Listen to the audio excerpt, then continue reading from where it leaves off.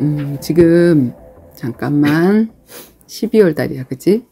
다음 주면 성탄절, 다음 다음 주가 성탄절인가? 응. 어, 다음 다음 주면 성탄절인데, 다다다음. 어, 우리가 성탄절이 되어지면 교회 안에서 했던 게 한 달 동안 성극을 준비해. 그래서 이제 예수님이 그 말구육간에 오시던 그 장면 있잖아. 아무도 우리 집 안 돼요.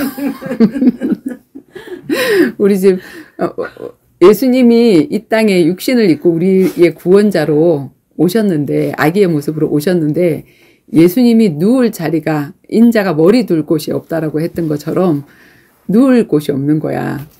음, 그 그런 그 예수님의 그 상황 마, 마국간에서 말구에서 태어났던 그 상황을 이렇게 뭐 중고등부나 초등부나 이런 사람들이 이제 성극을 하잖아. 그지? 근데 우리가 이렇게 그 19년도에 현이가 이제 소천하게 되어지면서 제주도에 문이 열려서 사역을 이렇게 하, 하던 가운데 지금 우리가 하는 예배는 교회 안에서 하는 예배가 아니라 교회 바깥에 누군가를 찾아가서 그 집에 찾아가서 하는 예배인 거잖아. 근데 어 진짜 그냥 성국으로 하는 그게 아니라 성경 말씀이 그대로 성취되는 그런 사건을 하나님이 2019년도인가 19년도 20년도에 주셨거든. 근데 그 20년도에 어떤 일이 있었냐면 어 그 진짜 우리가 예배를 드려야 될 장소가 필요한데 그 장소가 없는 거야. 할머니 집에 와서 같이 예배를 드렸으면 좋겠다 이렇게 했는데 그러니까 엄마가 그때 막 뭐지 물 뿌린다 그러고 들어오지 말라고 막 이렇게 해가지고 어 그래가지고 이제 정원이의 기숙사로 가가지고 예배를 드리게 됐는데 그 기숙사에 아무도 안 쓰는 방 그냥 완전히 뭐 사람들 옷 갈아입고 하는 방인데 막 누저분한 그 곳에서 예배를 드리면서 우리가 아 예수님이 이 땅에 오셨는데 예수님이 이 땅의 주인인데도 불구하고 예수님을 받아들일 곳이 없구나 이제 이런 생각을 하면서 지금 이제 우리가 하는 운동이 어, 예수님은 예수님이지만 우리가 지금 생명을 낳는 일이잖아. 복음을 가지고 한 사람 한 사람 복음을 전해주고 양육하는 그런 일을 하고 있는데 지금 우리가 낳는 생명, 그 새신자, 예수님 영접해서 태어나는 그 생명들이 사실은 작은 예수란 말이야. 우리가 그리스도인이잖아. 예수님은 그리스도고. 그래서 예수님과 똑같이 그리스도의 일을 할 수 있는 사람으로 세워야 되는데, 어, 모세가 태어났을 때도 마찬가지고 예수님이 태어났을 때도 마찬가지고 그것이 이제 방해를 받는 그런 일들. 그리고 그런데 마국간이 열려서 그 마국간에 예배를 드리면서 야, 교회에서는 성국으로 이거 하는데 우리는 진짜 현장에서 이 예배를 드리면서 마국간 예배가 성취됐네 하면서 그 지저분한 곳에서 예배를 드리면서 우리가 굉장히 은혜를 받아서 그지?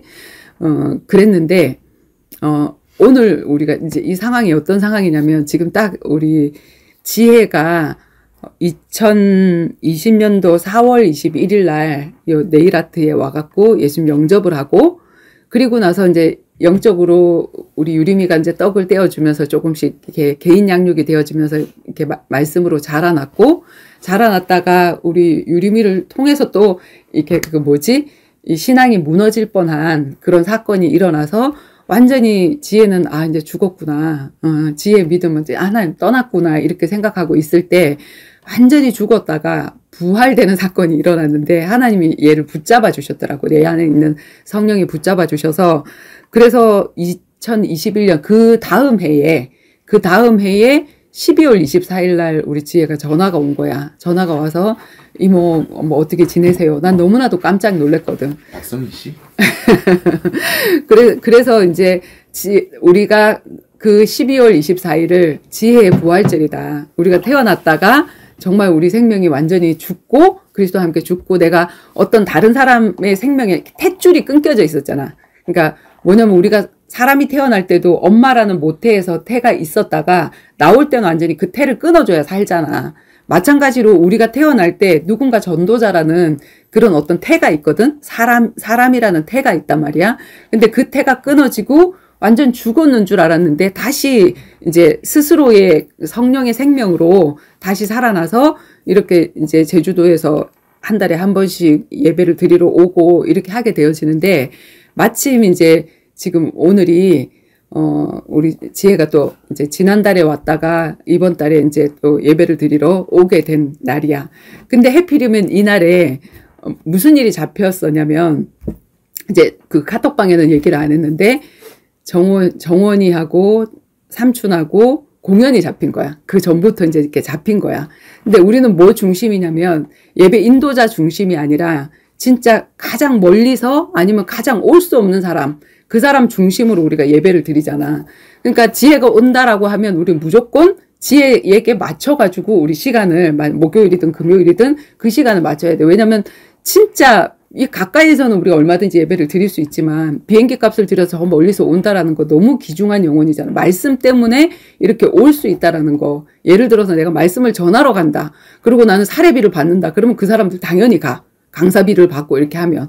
근데 내 돈을 투자해서 내가 말씀을 들으러 와야지 하는 그거는 사실은 쉽지가 않단 말이야. 그래서 나한테는 사실은 너무나도 귀중한 영혼이고 이렇게 한데, 근데 이제 갑자기 이 공연이 딱 잡히면서 이제 정원이도 기뻐하지 않았어, 사실은. 에이씨, 저, 지혜는 꼭 이런 때 온다라고 하면서, 해필이면 날짜도 얼마나 잘 맞추는지 하면서 정원이도 기뻐하지 않았고, 그 다음에 이제 오늘 또 이 사건이 이제 혜진이가 막 너무 피곤하고 이제 힘들면서 짜증을 내면서 가는 사건이 이제 오늘 일어나게 된 거거든. 근데 이게 하나님이 역할극을 하게 하신 것 같아. 지금 이제 예수님이 오실 때 마국간에 이제 오셨는데 아무도 받아들이지 않잖아. 기뻐하지도 않고. 근데 우리가 마지막 날 주님이 오실 때 우리가 이런 모습이 아닐까라는 생각을 했어. 주님이 오신다 그러면 너무 기뻐야 되잖아. 어, 예수님이 오시네? 막 기다리고 있어야 되잖아. 근데, 아, 난 너무 피곤하고, 그리고 난 나 나름대로 스케줄이 있고, 근데 왜 주님이 해필이면 이날 오시지? 이런 식으로 우리가 그, 그런 모습이 아닐까. 그 처음에 오셨던 그, 그분을 우리가 아무도 받아들이지 않았듯이 어, 또 마지막 날에도 우리가 그런 모습으로 주님을 맞이하지 않을까 하는 그런 생각을 하면서 지혜는 예수님의 역할을 지금 한 거고 해필이면 다른 사람들이 다 짜증내는 그 시간표에 오게 된 거고 지금 여기가 그러니까 옛날에는 장소 자체가 마국간이었잖아. 장소 자체가. 어, 지저분한 곳이지만 우리가 예배할 수 있는 곳이 너무 감사하다. 이렇게 했는데 근데 지금 뭐냐면 우리의 가슴 속이 마구간이었던 거야. 그러니까 지혜가 그걸 느끼잖아, 지금. 우리가 막 이렇게, 어, 도대체 무슨 일이 있었는데요? 한 거는, 왜, 왜 그랬지? 나 때문에 그랬나? 뭐 이런 생각을 했을 거 아니야. 그 그때 이 지혜의 마음은 얼마나 불편하겠어. 예수님이 이 땅에 와갖고 마구간에 낑겨가지고 이렇게 있어야 되는 그 상황과 또 지혜, 지혜가 그런 불편함을 느끼는 그 상황이. 이라고? 음, 아니 이제 예, 수님이 마국간에 오셨잖아. 응. 근데 아, 지금 이제 우리의 마음의 상태가 그러니까 지혜를 받아든 게 정말 새 생명. 우리가 그렇게 기다렸던 그 생명이 정말 태어나서 여기서 말씀을 먹겠다고 오는데 전혀 기쁘지 않은 그런 모습 모습이 아, 지혜가 얼마나 불편했을까. 아, 근데 그게. 사실은, 아, 너 기뻤어? 음. 아, 그랬어. 얼마나 기뻤는데. 아, 그랬구나. 음, 그래서 이제 그때, 정원이가 이제 그때 그 말을 했을 때, 정원아, 사실은 지혜를 통해서 지혜가 너무나도 귀중한 응답이다. 왜냐면 그, 그런 문제가 아니면은 우리는 얼마든지 그걸 비껴서 예배를 드릴 수도 있고 한데 그 영혼 때문에 우리가 그 시간을 fix 시켜 놓는 걸 통해서 너를 달아보시는 거다. 그래서 공연을 하고 만약에 지혜가 안 왔다면 진짜 얘는 술 먹으러 갔겠지. 그지? 뒷부리 하러 갔겠지. 근데 지혜 때문에 둘이서 예배를 승리할 수 있도록 이렇게 된 거잖아. 그러니까 정말 지혜는 너무 고마운 사람이지. 그리고 나 같은 경우에도 지금 이 혼돈이라는 메시지가 15년 전에 하나님이 주셨던 메시지거든. 흑암, 혼돈, 공허 이거 사단의 별명인데 이거를 정말 묵상해 보자니까 하나님이 정말 메시지를 주셔서 그거를 15년 전에 이렇게 말씀 운동할 때 나누던, 나누던 메시지인데 이걸 소책자로 만들지 그때는 한 장의 페이퍼로 이렇게 만들어진 건데 소책자로는 만들어서 한 번도 해본 적이 없어. 우리 방주 식구들이 한 번도 들어본 적이 없어. 지금 떨어진 미정이나 미선이나 유림이나 이런 사람들이 한 번도 들어본 적이 없는 메시지인데 이거를 준비를 하려고 하는데 정말 내 마음이 혼돈이었거든. 이 메시지를 준비하는데도 사실은 너무나도 힘이, 힘이 들었고 그리고 그런데 또 중요한 거는 우리가 그냥 마태복음 하자 그러면 교재 없이 할 수 있잖아. 묵상할 수 있잖아. 그, 그렇게 이렇게 지나가는데 나도 너무 피곤하고 하니까 이렇게 지나갔는데 해필이면 우리 정원이 아빠가 내가 저장해 놓은 이 메시지를 날려버린 거야. 이게 그 뭐지 컴퓨터에 있는 파, 일을 날려버려 가지고 종이로밖에 안 남아 있으니까 이걸 일일이 닫히면서 성경 찾아가지고 이렇게 해야 되니까 시간이 엄청나게 걸렸는데 내가 또 지혜가 지혜가 오는 시간에 맞춰서 이걸 준비를 해야지 하면서 책 하나가 준비가 되는 거야. 그래서 나는 지혜가 사실은 너무나도 귀중한 응답이거든. 그래 그래서 오늘 이걸 할 수 있게 됐는데 어저께부터 내 몸도 막더라고. 나도 너무 이렇게 감기 몸 몸살이 딱 들어오려고 하는데 감기 환자들을 만났어. 근데 나, 나한테 딱 왜 감기가 딱 들어올 때 느낌이 있잖아. 아 이거 감기 몸살로 심하게 아, 아프겠다 하는 거 몇 년에 한 번씩 내가 그렇게 아픈데 그 느낌이 딱 나는 거야. 그리고 내가 어제 어떻게 준비를 했냐면 그 아세로라시 그거를 계속 틀어놨어. 한 열, 열 매단씩 계속 틀어놓고 그리고 이제 안 먹는 그 뭐지 너 먹는 뭐 쌍화탕인가 그런 거 내가 싫어하거든. 그런 거 먹고 막 준비를 해가지고 지금 내 몸이 안 아파. 어, 나는 미리 그거를 준비를 했고, 근데 내 몸도 공격했을 뿐만 아니라 우리도 이렇게 막 하나 되지 못하고 막 서로 막 혜진이하고 나하고, 그 다음에 정원이하고 막 삼촌하고 막 둘이서 이렇게 좀 아침에 좀 저기 하게 되고, 이런 모든 일들을 벌였던 게 지금 이 사단의 정체가 혼돈과 공허와 흑암인데, 사단은 자기 정체를 꽁꽁 숨기거든? 근데 그 숨기려고 하는 그 정체를 드러내게 하려고 하니까 얼마나 싫었을까.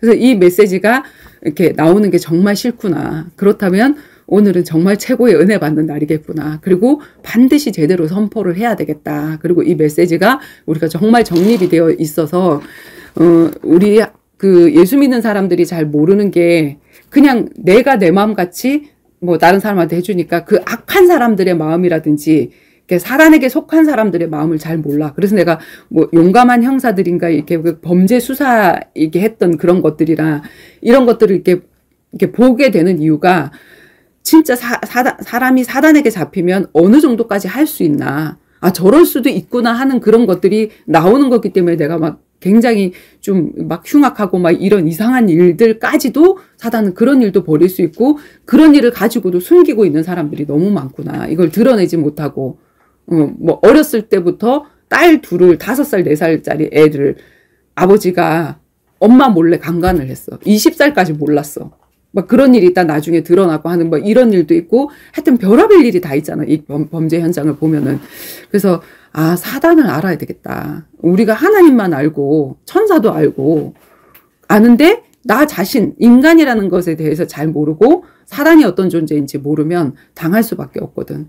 그래서 아 그 우리가 오늘 역할극 한 거야.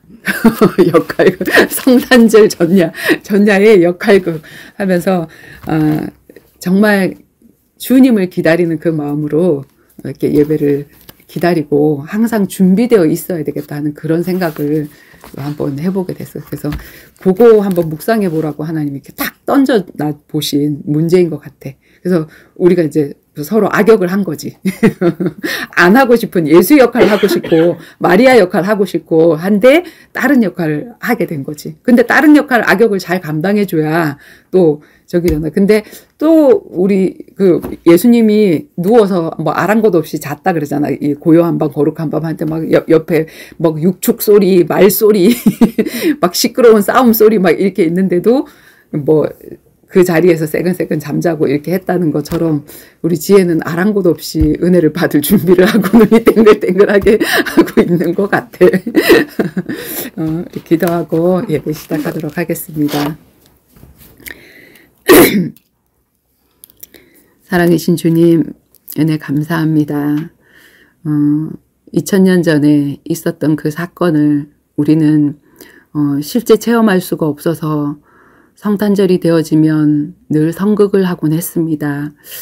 그러나 그건 성극일 뿐이었지 실제 우리가 체험하는 일이 아니었는데 현장에서 정말 한 사람 한 사람을 살리는 어, 잃어버린 양떼를 향해서 찾아가라는 그 말씀에 순종해서 정말 예수님처럼 어, 제자를 세우고 사역자를 세우고 양성하는 가운데 우리에게 2001년도에는 어, 그 마국간 예배를 2000년도에는 마국간 예배를 주님께서 성취시키시고 또 오늘 어, 일어났던 이 현장이 어, 우리의 마음속이 마곡간이 아니었나 또 얼마나 한 사람이 예배를 드리러 오는데 불편하게 하지는 않았는지 되돌아보는 시간입니다. 주님 이렇게 역할극을 다 하고 보니 마지막 날 우리가 주님을 얼마나 기다리며 준비하고 있어야 되는지 또 어, 주님 조금 있다 오세요 하고 우리가 할 일을 더 사랑하고 있는지는 않는지 그런 것들을 되돌아볼 수 있는 시간이었습니다. 주님 회개합니다. 하나님 앞에 정말 한 영혼을 주신 그 하나님께 감사하며 음, 정말 요게벳의 마음으로 요게벳이 모세를 키웠던 그 마음으로 잘 양육할 수 있는 제자로 사역자로 우리 모두가 세워지기를 원합니다. 오늘도 정말 자기 정체를 드러내기 싫어하는 그 사단의 세력 혼돈이라는 공허라는 흑암이라는 별명을 가지고 있는 사단의 정체를 밝히려고 합니다. 주님께서 세밀하게 알려주시고 적을 알고 나를 알 때 백전백승이라고 주님 말씀해 주셨사오니 눈에 보이지 않는 영적인 존재와 능히 싸워서 이길 수 있는 그런 저희들 되어질 수 있도록 인도해 주시고 혈계, 혈과 육의 싸움으로 사단에게, 사단에게 지는 그런 저희들 되어지지 아니하도록 주님 인도하여 주시옵소서 감사드리며 예수 그리스도 이름으로 기도드리옵나이다. 아멘. 감사합니다. 자, 우리 성경 말씀 창세기 1장 1절에서 3절 말씀 제일 첫 번째 장 2페이지 음, 보면은 음 제일 앞에 자, 읽겠습니다. 태초에 하나님이 천지를 창조하시니라 땅이 혼돈하고 공허하며 흑암이 깊음 위에 있고 하나님의 영은 수면 위에 운행하시니라 하나님이 이르시되 빛이 있으라 하시니 빛이 있었고 빛이 하나님이 보시기에 좋았더라 하나님이 빛과 어둠을 나누사 하나님이 빛을 낮이라 부르고 부르시고 어둠을 밤이라 부르시니라 아멘. 저녁이 되고 아침이 되니 이는 첫째 날이니라 음. 하나님이 빛이 있으라 하면서 창조하신 것을 우리는 시작으로 생각하지만 그 창조하기 전에 뭐가 있었더라? 흑암과 혼돈과, 혼돈과 공허가 있었더라. 근데 그 흑암과 공허와 혼돈이 뭐냐면 하늘에서 떨어진 존재. 하나님을 찬양한, 찬양을 담당하던 그 천사가 하나님에게 하극상하다가 떨어진 존재가 이 땅에 내려와서 이미 하나님이 어, 세상을 창조하시기 전에 혼돈, 뒤죽박죽, 질서 없는 거. 그지? 공허는 어, 굉장히 텅 비고 뭔가 허무하고 쓸쓸하고 한 그런 느낌이 있지. 그지? 그리고 어, 흑암이라는 그런 존재로 깜깜함, 음, 앞날이 깜깜하다 이렇게 얘기를 하는데 그런 존재로 어, 이 땅에 있었더라. 근데 그 빛이 있으라 하면서 하나님 한 방으로 해결해 주셨지. 그래서 우리가 이 혼돈과 공허와 흑암은 사단의 별명인데 태초의 사단의 별명인데 어, 왜 혼돈인지 왜 공원지 왜 흑암인지를 우리가 잘 알아야 되거든. 요한복음 1장에도 보면 창세기 1장에 있었던 그 말씀이 그대로 태초의 말씀이 계시니라 이 말씀이 하나님과 함께 계셨으니 이 말씀은 곧 하나님이시니라. 태초에 말씀이 계셨는데 그 말씀이 곧 누구시라고? 하나님이시라. 하나님이시라고. 그리고 그가 태초에 하나님과 함께 계셨고 그지? 태초에 말씀이 계신다. 이 말씀이 하나님과 함께 계셨다. 이 말씀이 누구야? 어, 예수 그리스도. 말씀이신 예수 그리스도. 말씀이 하나님과 함께 계셨다. 근데 이 말씀은 곧 하나님이시다. 삼위일체 하나님을 얘기하는 거. 말씀이시고 하나님이시고 그다음에 뭐지? 어, 그가 태초에 하나님과 함께 계셨고 예수님이 하나님과 함께 계셨고 창조하시기 전에 만물이 그로 말미암아 지으신 바 되었으니 만물이 누구로 말미암아 그리스도 예수님과 함께 지어졌단 말이에요. 예수 하나님이 계실 때 하나님이 그랬잖아요. 우리가 우리의 형상대로 사람을 짓자. 그 우리가 누구야? 성부, 성자, 성령이거든. 성령 하나님이 함께 지었단 말이야. 그래서 만물이 그로 말미암아 지은 바 되었으니 지은 것이 하나도 그가 없이 된 것이 없다. 그가 누구야? 예수 그리스도. 그리스도가 없이 된 것이 없느니라. 그 안에 예수 그리스도 안에 생명이 있었으니 이 생명은 곧 사람들의 빛이라. 빛이 어두움에 빛이 돼 어두움이 깨닫지 못하더라. 빛을 비췄는데 깨닫지 못하더라. 예수님이 빛으로 오셨는데 이 땅에 빛으로 오셨는데 그 빛을 사람들이 알아보지 못하더라. 그지? 하나님께로부터 보내심을 받은 사람이 있으니 예수님이 오시기 전에 6개월 전에 나, 어, 뭐지? 난 누구다? 그의 이름은 요한이다. 세례 요한. 세례 요한이 먼저 와서 그가 증언하러 왔으니 곧 빛에 대하여 증언을 하고 모든 사람이 자기로 말미암아 믿게 하려 함이라. 그는 빛이 아니요. 그가 누구야? 지금 여기 있는 그는. 어, 세례 요한은 빛이 아니고 이 빛에 대하여 증언하러 왔다. 이 빛이 누구야? 예수 그리스도. 어, 예수 그리스도의 빛 대신 예수 그리스도에 대하여 증언하러 온 자다. 참 빛, 곧 세상에 와서 각 사람에게 비치는 빛이 있었으니 그가 세상에 계셨으며 세상은 그로 말미암아 지은 바 되었으되 세상이 그를 알지 못하였고 자기 땅에 오매 예수님이 자기 땅에 왔어. 그치? 자기가 창조한 그 땅에 내가 육신을 입고 이 땅에 올 거야 하는 약속대로 왔는데 자기 백성들이 영접지 아니하였으나 예수님 영접 안 했잖아. 유대인 대제사장들, 서기관, 바리새인들. 그지? 영접 안 했으나 이 예수님을 영접하는 자, 곧 그 이름을 믿는 자들에게는 뭘 믿음으로 보시겠다? 예수님을 영접하는 걸 난 믿음으로 볼 거야. 그래서 영접하는 자, 곧 그 이름을 믿는 자들에게는 하나님의 자녀가 되는 권세를 주셨으니, 빛의 자녀가 되는 권세를 주셨으니.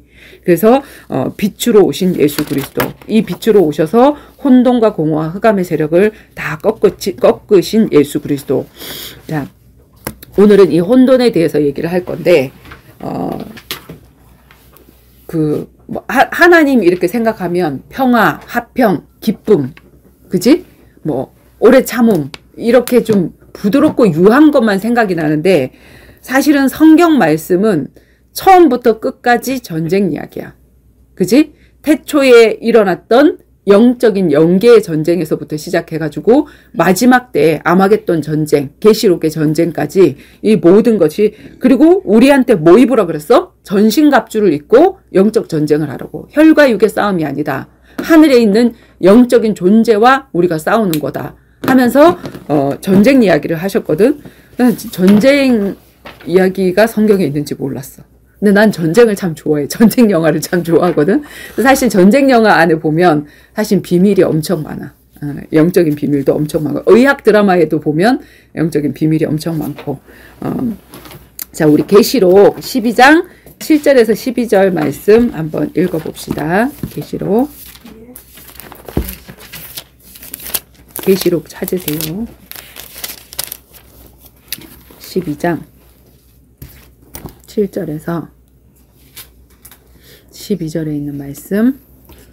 하늘에 전쟁이 있으니 미가엘과 그의 사자들이 용과 더불어 싸울세. 용과 그의 사자들도 싸우나 이기지 못하여 다시 하늘에서 그들이 있을 곳을 얻지 못한지라. 큰 용이 내쫓기니 곧 옛뱀 막이라고도 하고 사탄이라고도 하며 온 천하를 꿰는 자라. 그가 땅으로 내쫓기니 그의 사자들도 그와 함께 내쫓기니라. 내가 또 들으니 하늘에서 큰 음성이 있어 이르되 이제 우리 하나님의 구원과 능력과 나, 라와또 그의 그리스도의 권세가 나타났으니 우리 형제들을 첨수하던 자 곧 우리 하나님 앞에서 밤낮을 첨수하던 자가 쫓겨났고 또 우리 형제들이 어린 양의 피와 자기들의 증언하는 말씀으로 그를 이겼으니 그들은 죽기까지 자기들의 생명을 아끼지 아니하였도다. 그러므로 하늘과 그 가운데 거하는 자들은 즐거워하라. 그러나 땅과 바다는 화 있을진저 음. 이는 마귀가 자기의 때가 얼마 남지 않은 줄을 알므로 그게 분내어 그 너희에게 내려갔음이라 하더라. 아멘. 자, 하나님이 천지 만물을 창조하시기 전에 지으신 세계가 무슨 세계다? 영적 세계. 어, 영계. 천사들을 만드셨다 그랬지, 그지? 그 천사들 중에 하나님을 찬양하는 담당하는 천사, 하나님이 어, 전쟁 담당 천사 미가엘, 그 다음에 가브리엘. 가브리엘, 그리고 루시. 루시엘. 자, 천사장이야. 천사 중에 대장. 대장 천사들이 있었고, 그리고 그를 따르는 수많은 무리들이 있었어. 그런데 이들에게 하나님이 임무를 줬는데 어떤 임무를 줬지? 하나님의 심부름꾼이라 그랬지. 경호원이에요. 경호원.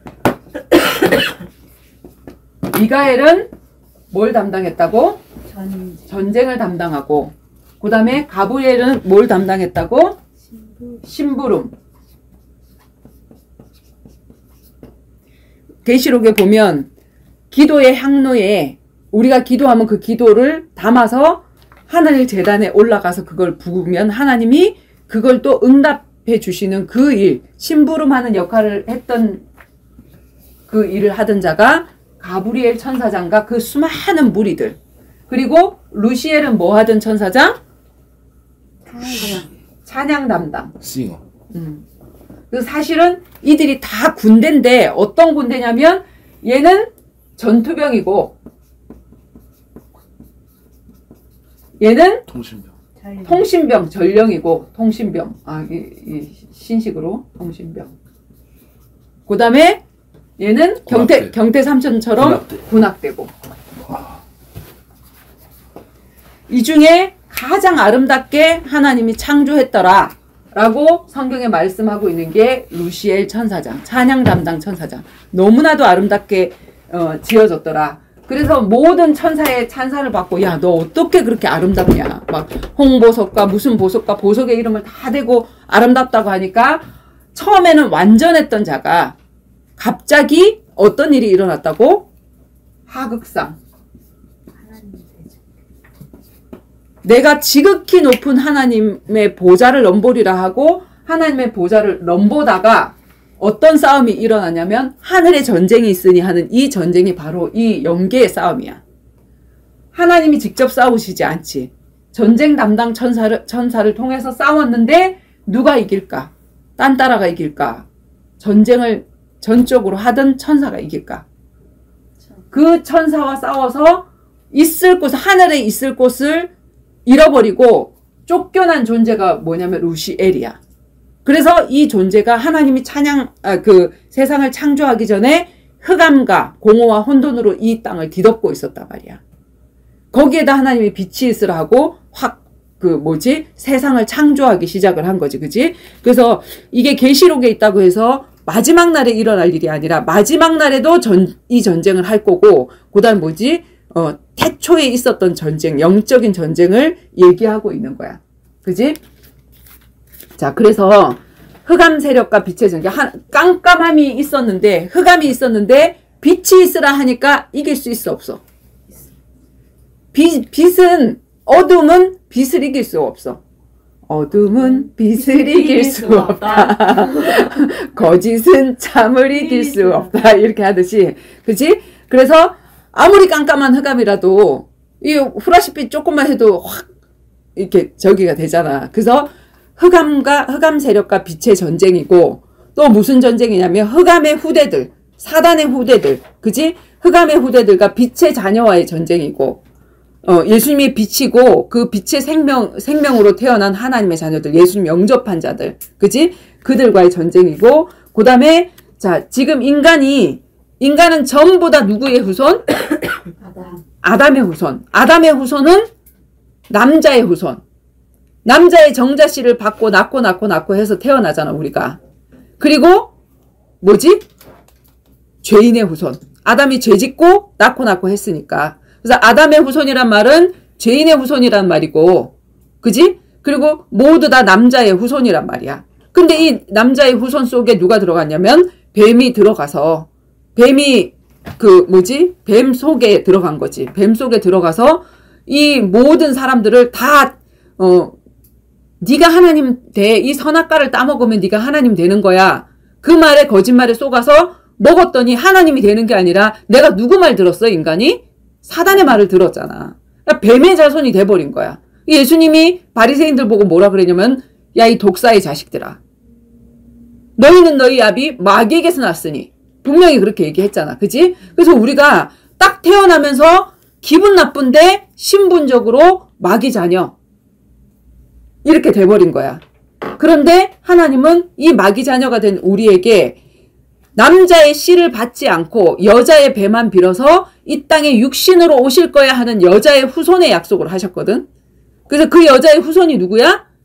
예수 그리스도지, 그지? 어, 예수, 예수님은 남자의 정자씨를 받지 않았어. 요셉의 정자씨를 받지 않았어. 여자의 몸만 빌렸어. 왜냐면 육신을 입고 오셔야 되기 때문에. 그래서 육신을 입고 오, 오셔서 예수님만 누구의 후손? 여자의 후손이라고 우리가 얘기를 하는 거지. 그래서 이 계시록에도 보면 여자가 아이를 낳음에 그 얘기 나오지. 제일 앞에. 그지? 하늘에 12절 12장 1절에 보면 하늘에 큰 이적이 보이니 해를 옷 입은 한 여자. 그지? 은혜 입은 여자. 이걸 얘기 은혜 입은 교회. 성도. 이걸 얘기를 하는 거거든. 오직 예수 그리스도만 신랑 삼은 그런 사람. 해를 옷 입은 한 여자가 있는데 그 발 아래는 달이 있고 그 머리에는 열두 별의 관을 썼더라. 이 여자가 아이를 베어 해산하, 해산하게 되며 아파서 애를 쓰며 부르짖더라.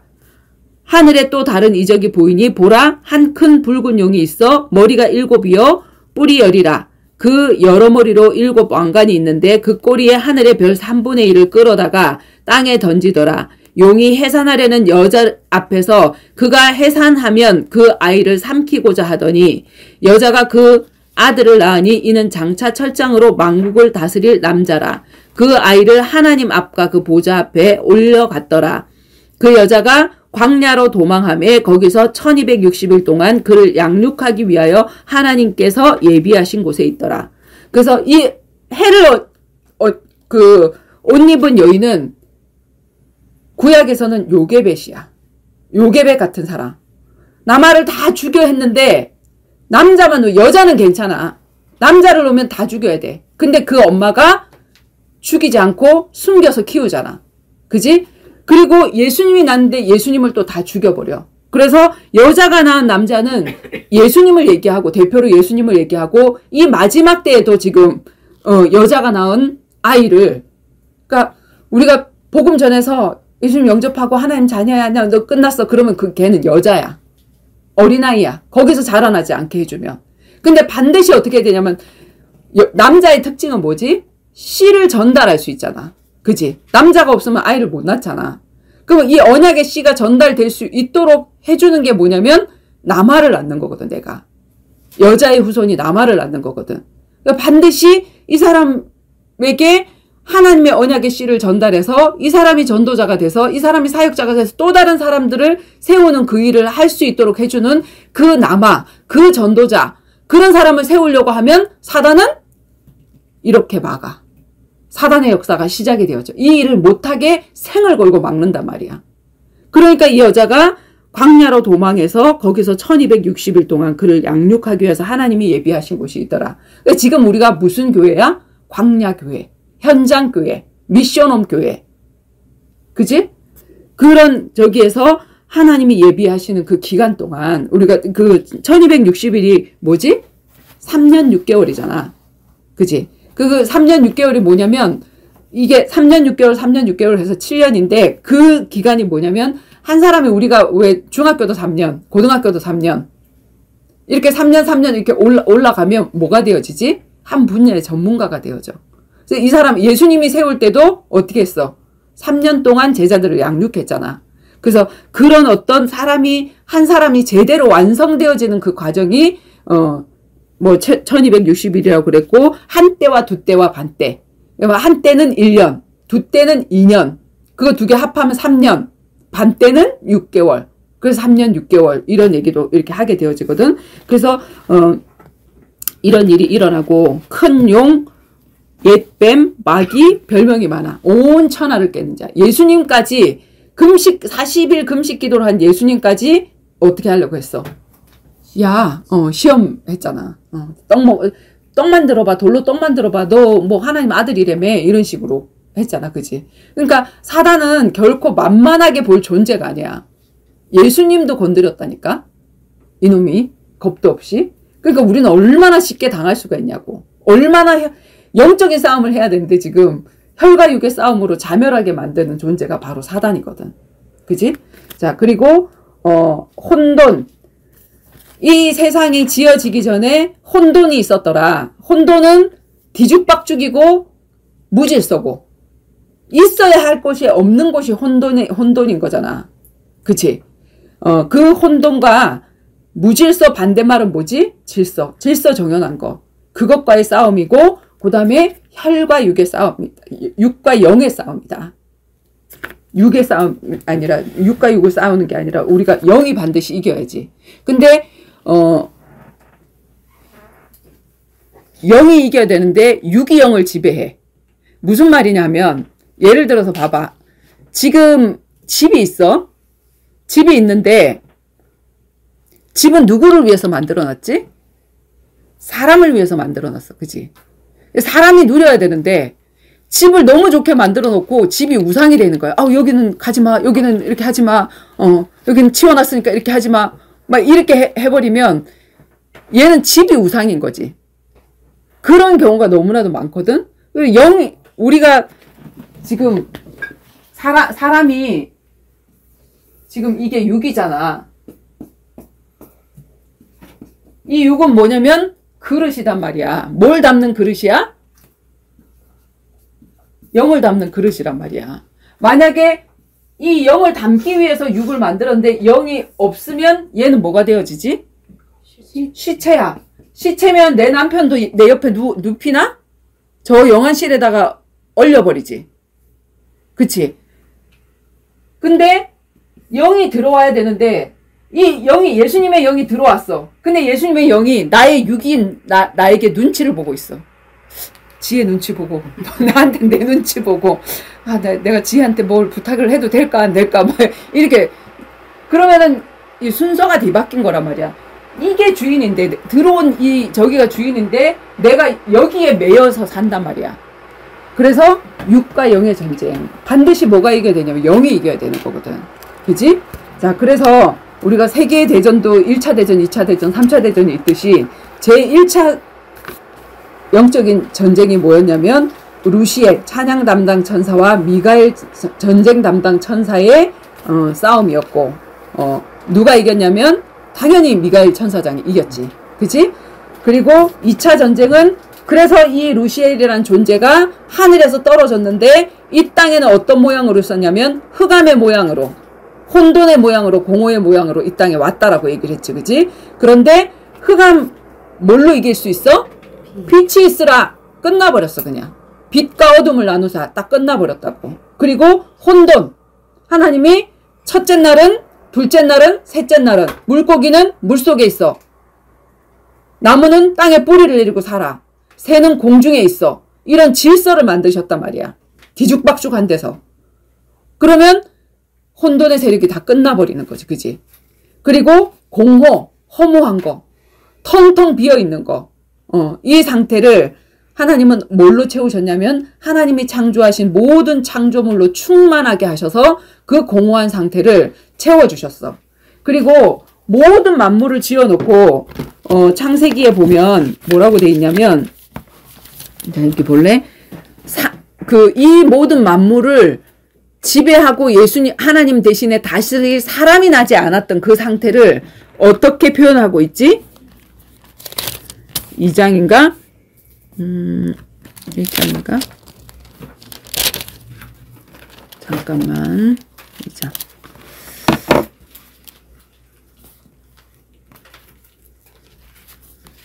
그, 2장인데? 어디 있어? 음.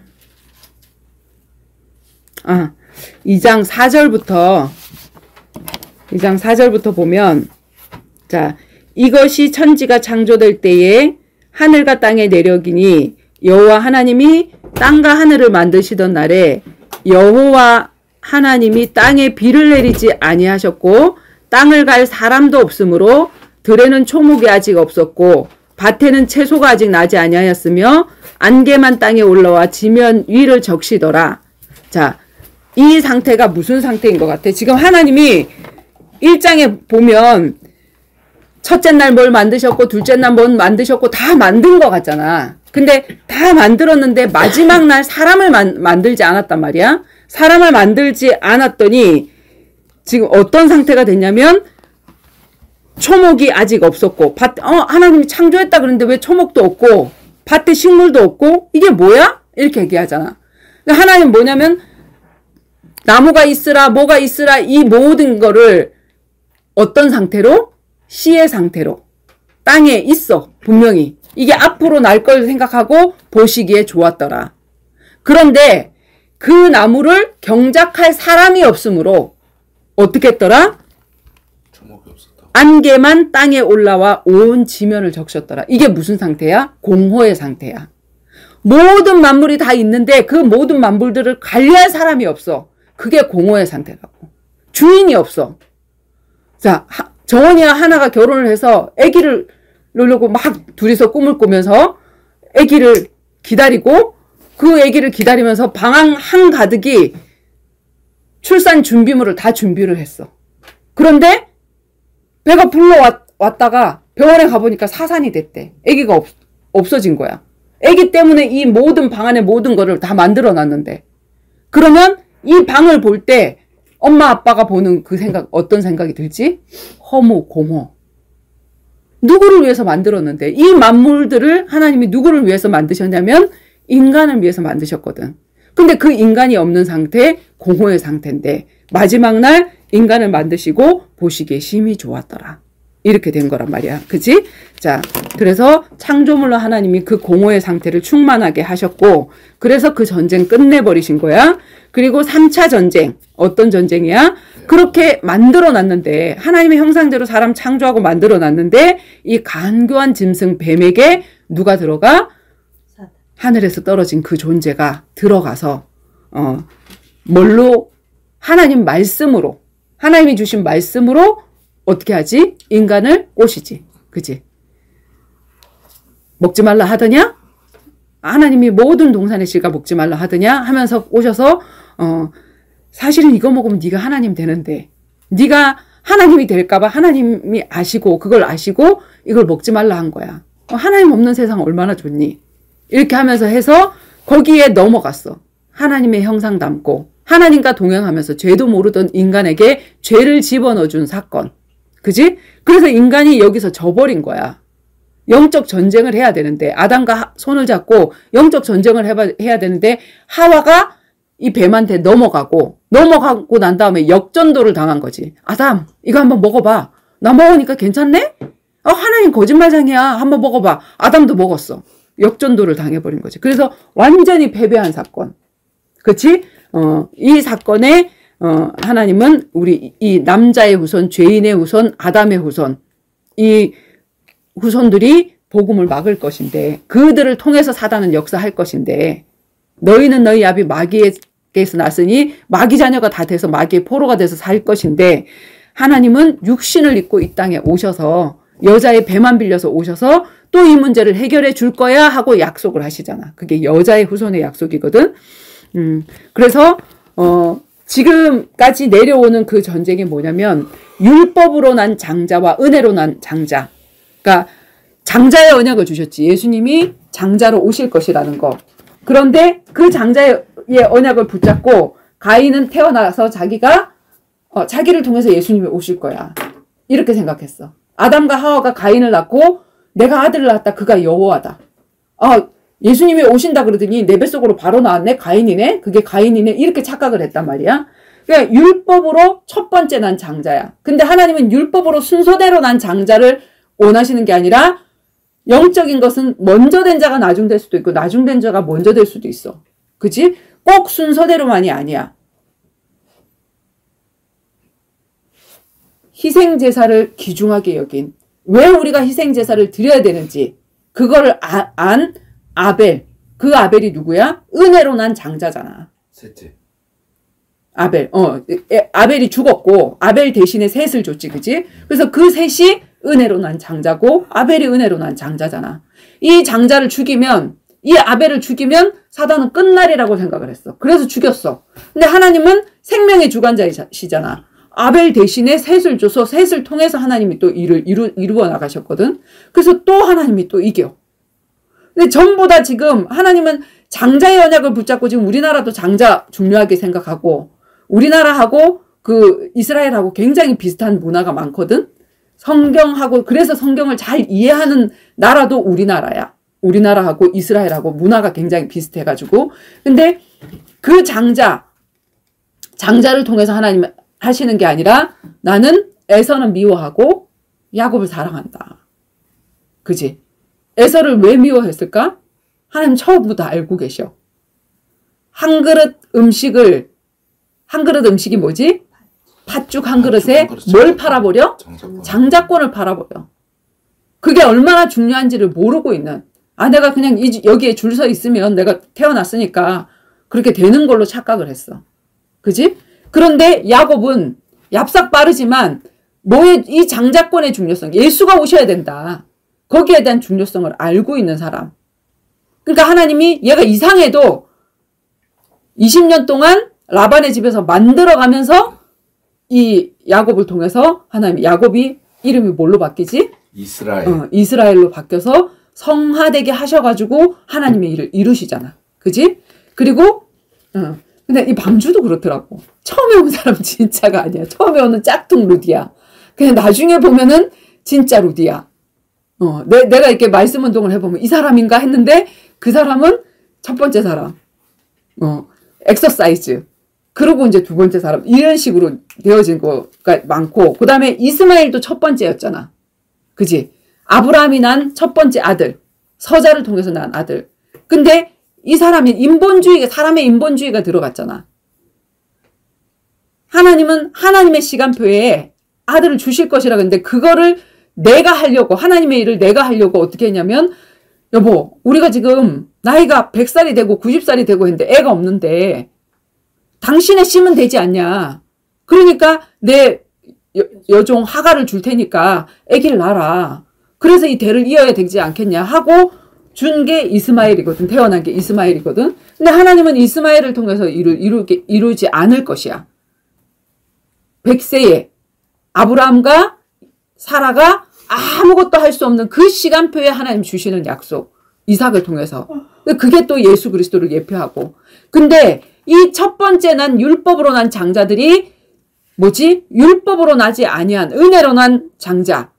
이 사람들을 어떻게 해? 죽이려고 그래. 그래서 이게 종교 전쟁이야. 종교와 복음의 전쟁이고. 사울왕. 내가 첫 번째로 하나님이 기름 붓고 세웠다. 다윗을 계속 죽이려고 해. 근데 하나님은 다윗을 통해서 내 뜻을 이루리라. 이렇게 말씀하시잖아. 그지? 조카 롯, 아브라함. 다 마찬가지거든. 그래서 종교와 복음의 전쟁. 종교는 뭐냐면 종교. 이 종교야말로 혼돈이야. 회색지대, 회색지대. 우리 회색하면 생각나는 게 뭐 있지? 그레이색. 회색하면 생각나는 게 뭐 있어? 그레이색.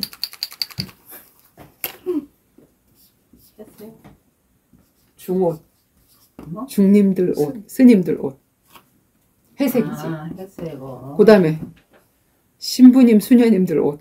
회색이지.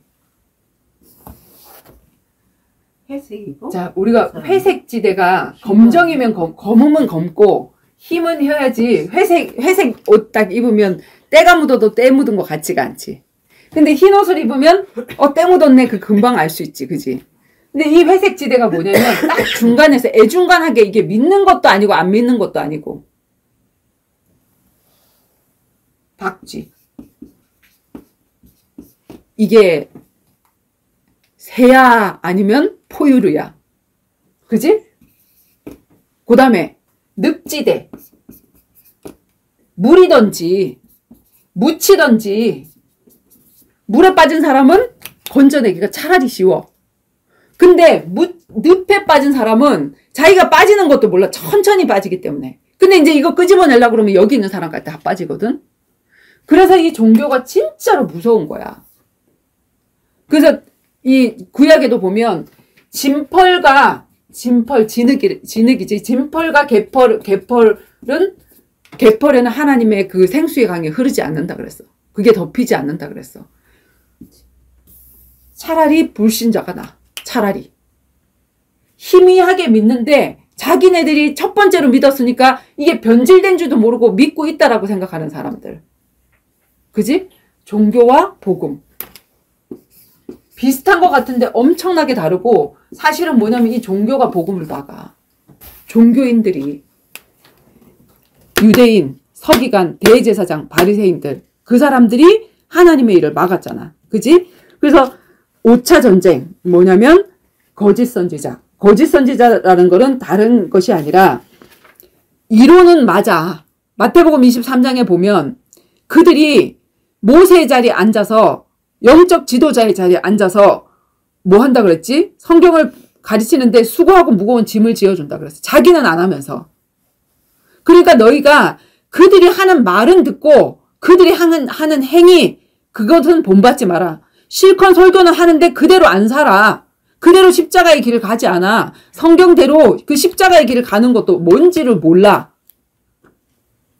그래서 십자가의 체험이 없는 이론적인 영적 지도자, 거짓 선지자. 신학교 가면 다 증주지. 거짓 선지자 되는 길이거든. 이론과 내가 한 번도 경험해보지도 않고 제자 되세요. 뭐 이렇게 하는 거. 내가 실질적으로 70인 그 제자의 길을 갔더니 그게 70인이 아니라는 거야. 직장에서 돈 엄청나게 벌고 교회에다 헌금 갖다 바치고 현장에서도 전도해갖고 막 교회 부흥시키는 그 사람이 70인이라는 거야. 성경에 어떻게 그렇게 돼 있어? 직장에 가서 돈 벌라고 돼 있어?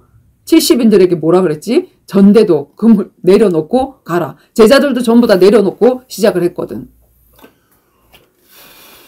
근데 오직 성령된 전도자, 오직 성령, 오직 그리스도가 주인이 되어지면 나는 그 길 가기 싫은데 그 길이 맞으니까 한 발 한 발 안 갈 수가 없어. 가다가 보면 성경이 다 하나님의 일이 예수님의 일이 내 일이 되어지고 구약에 일어났던 그 일이 나한테 성취가 되어져.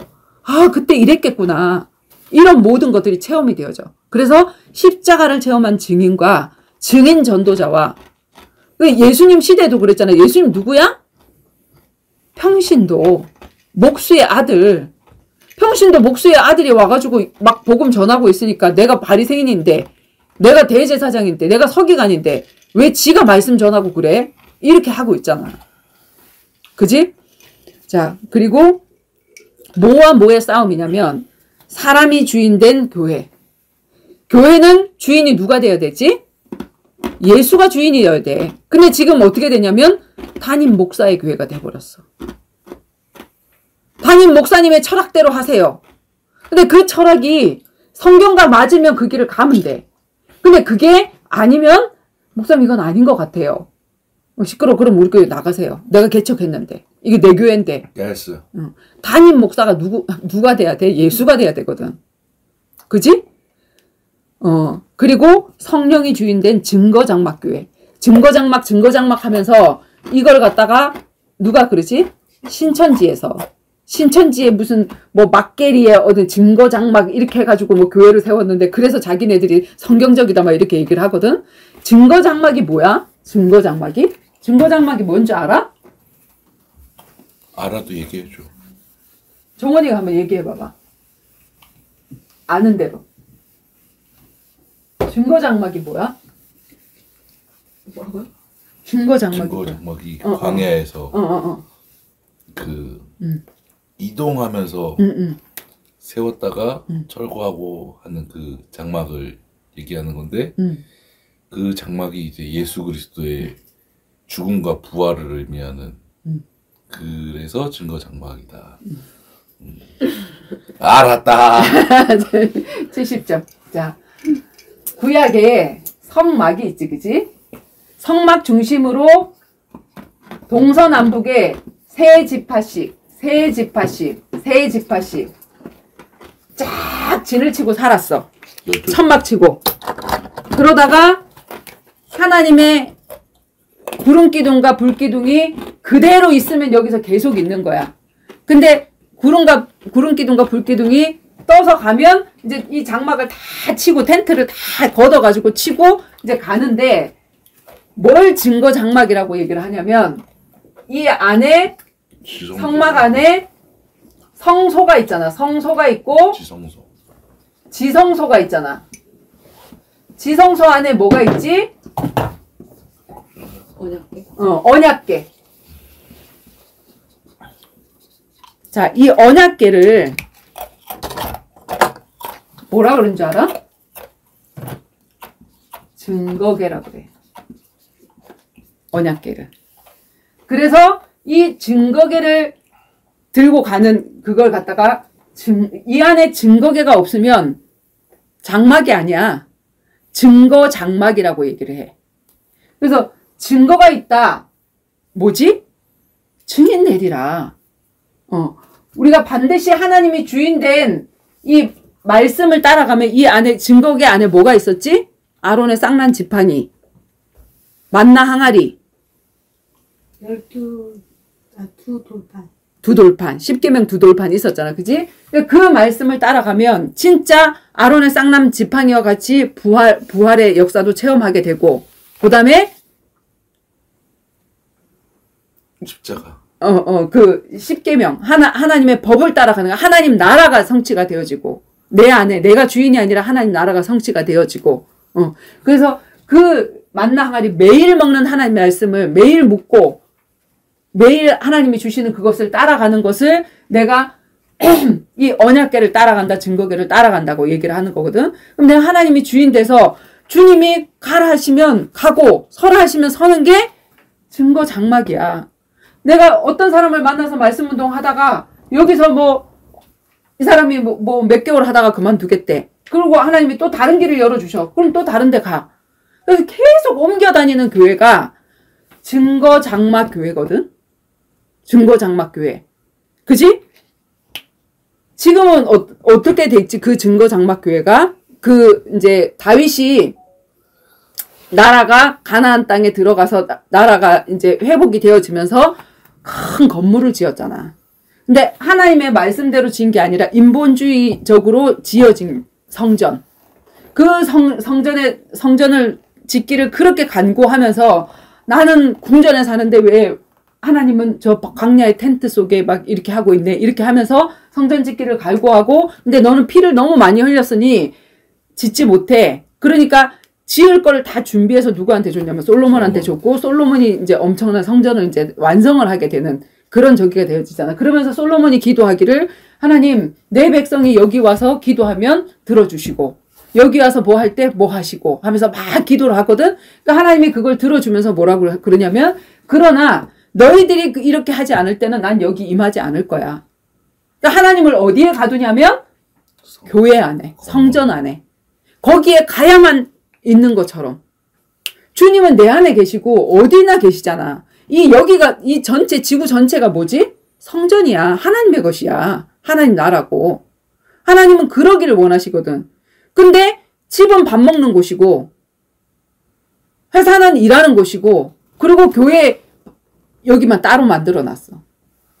그러고도 시간 시간제별로 그렇게 엄청나게 돈 들여서 지어놓고 사람들 많이 오니까 주차장도 엄청나게 막 옆에 있는 불신자들 땅 다 이렇게 해놓고는 수요 예배 드리고 금요 예배 드리고 주일 예배 드리는데 그때만 사람들 많이 오니까 그것 때문에 해놓고는 다른 날은 텅텅 비어 있는데도 불신자들이 차 한번 내려 그러면 우리 교회 우리 교회 다녀야 안 다녀요. 안 다녀요. 안 다니면 찰 까닥. 이게 무슨 복음이 전해지겠냐고. 그래서 오히려 그게 방해가 되고 있는데 증거 장막 교회는 뭐냐면 진짜 신약의 사도행전의 미션홈 교회. 바울이 했던 교회. 장소가 있었어? 십자가 달 수 있었어? 여기서 하다가 잡으러 오면 다 흩어져야 돼. 그리고 어디로 가냐면 딴 데로 또 어디 뭐 그러니까 장소가 없었단 말이야. 어디로 어디로 내려가서 카타굼이나 이런 데 들어갔을 때 그게 시간을 정할 수 있었겠어? 지금 오늘날 우리가 지금 예배 드리는 거하고도 정말 똑같은 거거든. 그러니까 이 사람들 잡을 수가 없게끔 이 미션홈 교회가 사실은 뭐냐면 진짜 공산주의나 이런 데서 전도하기 너무 좋은 곳이야. 그치? 공산주의에 우리가 나 목사입니다, 선교사입니다. 여기서는 알아주지. 근데 공산주의에 가가지고 나 목사입니다, 선교사입니다 하면 어떻게 되어지지? 모가지가 잘려. 모가지 잘리지. 잡아가지. 그러니까 나는 목사인데도 우리 목사님 중국에 선교하러 갈 때 사업가처럼 해서 갔어. 이름도 바꿔가지고 갔어. 이름도 올라가면 안 돼. 그 공안에 올라가면 안 돼서 이름도 다른 걸로 해갖고 갔거든. 중국 선교 하시는 분들은 이름이 여러 개였어. 그래 가서 어 나 사업하는 사람인데 나 간호사인데 나 의사인데 근데 그 나라 사람들이 그 사람들이 필요해. 그래서 하- 해주면서 그쪽에서 사람 만나가지고 복음 전하고 거기서 집에서 예배 드리고 예배 드리다 누가 오면 우리 밥 먹는데요. 이렇게 하고 그래서 진짜 이 미션홈 전략은 공산주의도 못 막는 전략이 미션홈 전략이거든. 광야의 교회가 무슨 교회냐면 항상 성령을 따라 움직이는 교회. 응. 이렇게 되어지는 그런 교회였단 말이야. 그리고 방주. 자, 방, 방주에 키 있었어, 없었어? 어. 방향을 움직이는 키가 없었어. 누가 움직이시는 대로 가야 되냐면 주님이 움직이시는 대로 가야 돼. 물 따라서. 어, 어, 물 따라서 성, 성령의 인도함 따라서. 그게 바로 교회의 모습이거든. 근데 지금 오늘날 교회의 모습은 그런 성령의 인도를 따라가는 게 아니라 어떤 세상의 물결에 따라서 간다든가 전원 교회를 만들자. 사람들이 교회 안 오더라. 막 놀러 다니더라. 그러니까 전원에 아름답게 막 이렇게 해갖고 여기 와갖고 막, 막 식사도 하고 뭐 고구마도 캐고 막 이렇게 하면서 예배도 드리고 막 이렇게 하자. 세상의 물결에 따른 교회거든. 그런 것이 아니란 말이야. 그지? 어, 이런, 이런 것들. 그래서 이런 것들이 싸움이야. 그리고, 어, 지금, 누가복음 20장 1절에서 26절. 누가복음. 아니, 거기는 안 적혀 있는데, 누가복음 20장.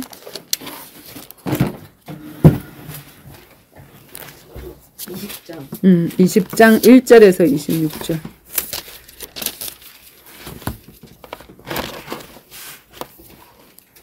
하루는 예수께서 성전에서 백성을 가르치시며 복음을 전하실새 대제사장들과 서기관들이 장로들과 함께 가까이 와서 말하여 이르되 당신이 무슨 권위로 이런 일을 하는지 이 권위를 준 이가 누구인지 우리에게 말하라 대답하여 이르시되 나도 한 말을 너희에게 물으리니 내게 말하라. 요한의 세례가 하늘로부터냐 사람으로부터냐. 그들이 서로 의논하여 이르되 만일 하늘로부터라 하면 어찌하여 그를 믿지 아니하였느냐 할 것이요. 만일 사람으로부터라 하면 백성이 요한을 선지자로 인정하니 그들이 다 우리를 돌로 칠 것이라 하고 대답하되 어디로부터인지 알지 못하노라 하니 예수께서 이르시되 나도 무슨 권위로 이 이런 일을 하는지 너희에게 이르지 아니하리라 하니라. 음, 자, 봐봐봐. 음, 하루는 예수께서 성전에서 백성들을 가르치시며 복음을 전하실 때. 자, 예수님이 누구야? 지금? 구원. 대제사장도 아니고 서기관도 아니고 장로도 아니야. 교회의 영적 지도자가 아니란 말이야. 목수의 아들로 태어난 평신도로 시작을 했어. 근데 이, 이분이 성전에서 백성을 가르치네? 복음을 전파하네? 그러니까 이 영적인 지도자들이 대제사장, 서기관, 바리새인들, 장. 어, 장로들이 와가지고 야, 너 무슨 권위로 이런 일을 하냐? 너 왜 메시지 전해? 여기 너 평신도가 말씀 전에 이 말이나 똑같은단 말이야. 지금 오늘날 그렇잖아. 어, 너 신학교도 안 나오고 너 목사도 아닌데 너 왜 말씀 전해? 이러고 앉았잖아. 그러니까 뭐라고 예수님이 대답하여 이르되 나도 어, 한 말을 너에게 물으겠다. 나도 너 니네들한테 한번 묻겠다. 이 세례 요한은 애매한 사람이거든. 왜 애매, 애매한 사람이냐면 세례 요한은 아버지가 제사장이야. 그래서 자기는 제사장의 직분을 감당할 수 있는 사람인데 그 옷을 벗어 던졌어. 그리고 광야에 약대 털옷을 입고 바깥에 나가서 말씀을 전하니까 많은 사람들이 바리새인들이 오- 왔다 그랬어. 임박한 진노를 피하려고 회개하러 오고 세례를 받으러 왔다 그랬거든. 근데 그 세례 요한을 얘기를 하면서 야 세례 요한의 세례가 하늘로부터 온 거냐 사람으로부터 온 거냐 나 한번 물어보자 하고 물어봤단 말이야. 근데 말을 못하는 거 왜 말을 못하냐면 하늘로부터다 이렇게 얘기를 하면 이 사람은 지금 제사장의 직분을 가지고 있던 사람이잖아. 하늘로부터다 하면 근데 니네들 왜 안 믿어? 이렇게 얘기할 거고 야 그거 하늘로부터 아니야 그거 사람 사람에게서 온 거야 이렇게 얘기를 하면 사람들이 많은 사람들이 선지자로 그를 따르고 있었기 때문에 그 사람들이 돌멩이 들고 던질 것 같은 거야. 그러니까 사람 눈치 보는 사람들 그 사람들이 이렇게도 말 못하고 저렇게도 말 못하는 거야. 말 못하겠다라고 얘기하니까 니네들이 말 안 해? 그럼 나도 말 안 해. 이, 이 권세 누가 줬는지 그렇게 얘기를 했단 말이야. 그러면서 예수님이 그 뒤에 비유를 하시는데 그게 포도원 농부의 비유거든. 어떻게 얘기를 했냐면 그가 또 이 비유로 백성에게 말씀하시기를 시작하니라. 한 사람이 포도원을 만들어 농부에게 새로 주고 타국에 가서 오래 있다가 때가 이름에 포도원 소출이 얼마, 얼마를 바치게 하려고 한 종을 농부들에게 보내어 농부들이 그 종을 몹시 때리고 거저 보내거늘 다시 다른 종을 보내니 그도 몹시 때리고 능욕하여 거저 보내었거늘 다시 세 번째 종을 보내어 이 종도 상하게 하고 내어 내쫓은지라 포도원 주인이 이르되 어찌할까? 내 사랑하는 아들을 보내리니 그들이 혹 그는 존대하리라 하였더니 농부들이 그를 보고 서로 의논하여 이르되 이는 상속자니 죽이고 그 유산을 우리의 것으로 만들자 하고 포도원 바깥으로 내쫓아 죽였느니라. 그런즉 포도원 주인이 이 사람을 어떻게 하, 겠느냐? 와서 그 농부들을 진멸하고 포도원을 다른 사람에게 주리라 하시니 사람들이 듣고 이르되 그렇게 되지 말지어다 하거늘 그들이 보시며 그들을 보시며 이르시되 그러면 기록된 바 건축자들의 버린 돌이 모퉁이 돌의 머릿돌이 되었느니라 함이 어찌미냐 무릇 이 돌 위에 떨어지는 자는 깨지게, 깨지겠고 이 돌이 사람 위에 떨어지면 그를 가루로 만들어 흩으리라 하시니라.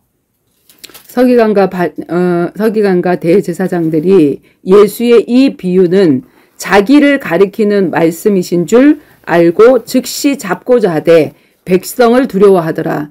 이에 그들이 엿보다가 예수를 총독의 다스림과 권세 아래서 넘기려 하여 정탐을 보내어 그들로 스스로 의인인 채 하여, 하며 예수의 말을 책잡으려 하니 그들이 물어 이르되 선생님이여 우리가 아노니 당신은 바로 말씀하시고 가르치시며 사람을 외모로 취하지 아니하시고 오직 진리로서 하나님의 도를 가르치시니이다.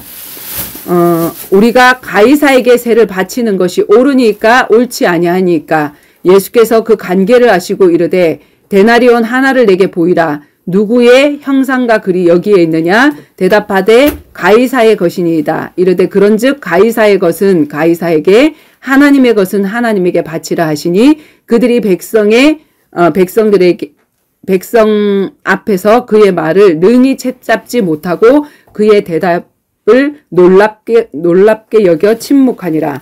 자, 예수님이 이런 바리새인들 자기가 그 교회 안에서 말씀을 전하는데 니네들 너 네가 왜 대제사장도 장로도 아닌데 어떤 권위로 말씀을 전하느냐 하고 하더 이렇게 했을 때 그렇게 책 잡던 어, 그런 그 사람들에게 비유를 들었어. 어떤 비유를 들었냐면 포도원 비유를 들었지. 이 포도원이 누구, 뭘까? 교회란 말이야, 교회. 성도들을 맡겼다. 포도원. 포도원을 지어서 내가 농부에게 맡겼다. 그러면 그 농부는 뭐냐면 청지기야, 청지기. 자기가 주인이 아니고 주인이 맡겨준 거야. 주인 행세 하면 안 돼. 담임 행세 하면 안 된단 말이야. 근데 그렇게 해서 오래 있다가 주인이 이제 소출이 얻을, 얻을 때가 돼서 이제 포도, 포도 농사가 이제 다 익을 때가 돼서, 어, 종들을 보내니까 종들을 몹시 때리고 고, 보냈다. 왜 때리고 보냈을까? 낼 게 없으니까. 음. 주기 싫어. 포, 포도 소출이 없어, 사실은. 응, 들포도를 맺을 수밖에 없어, 이들은. 나가, 나가서 이, 이걸 보내기가 겁이 난 거야. 그지? 그래서 몹시 때리고 죽였단 말이야. 다시 와서 세 번째 종이 왔어. 지금 예수님이 오시기 전에 아들 예수님이 오시기 전에 구약에서 하나님이 쓰시는 진짜 선지자들 예레미야나 이사야나 이런 선지자들을 불러가지고 그 거짓 선지자들에게 막 선포를 했는데 그들이 그들을 이렇게 막 능욕하고 잡아 죽이고 때, 려 죽이고 감옥에 넣고 막 이렇게 해버렸잖아. 그러니까 그런 것과 똑같은 그런 일이 일어났어. 근데 이제 예수님을 보냈어. 아들을 보냈어. 아들을 보내면 우리 아들은 아들이니까 대접하리라 라고 했는데 이는 아들이니까 상속사니까 얘 죽이면 이 포도원 내 거네? 이렇게 돼버린 거야. 그래서 예수까지 죽였다 이 얘기를 하신 거야 지금 비유로. 그지? 어, 농부들이 그를 보고 서로 의논하여 아 상속자니 죽이고 우리가 유산을 우리 것으로 만들자. 그리고 포도원 밖으로 내쫓아 죽였느니라. 예수님을 영문 밖에 내세워서 십자가에 못 박혀 죽이신 사건을 얘기를 하고 있는 거지. 그지? 앞으로 죽일 사건을. 자, 와서 농부들을 진멸하고 포도원을 다른 사람에게 주리라. 주인이 와가지고 그 일 한 그 사람들 죽이리라. 이렇게 얘기를 했잖아. 그지? 그러면서 예수님이 뭐라 그러냐면 건축자들의 버린 돌. 건축자가 누구야?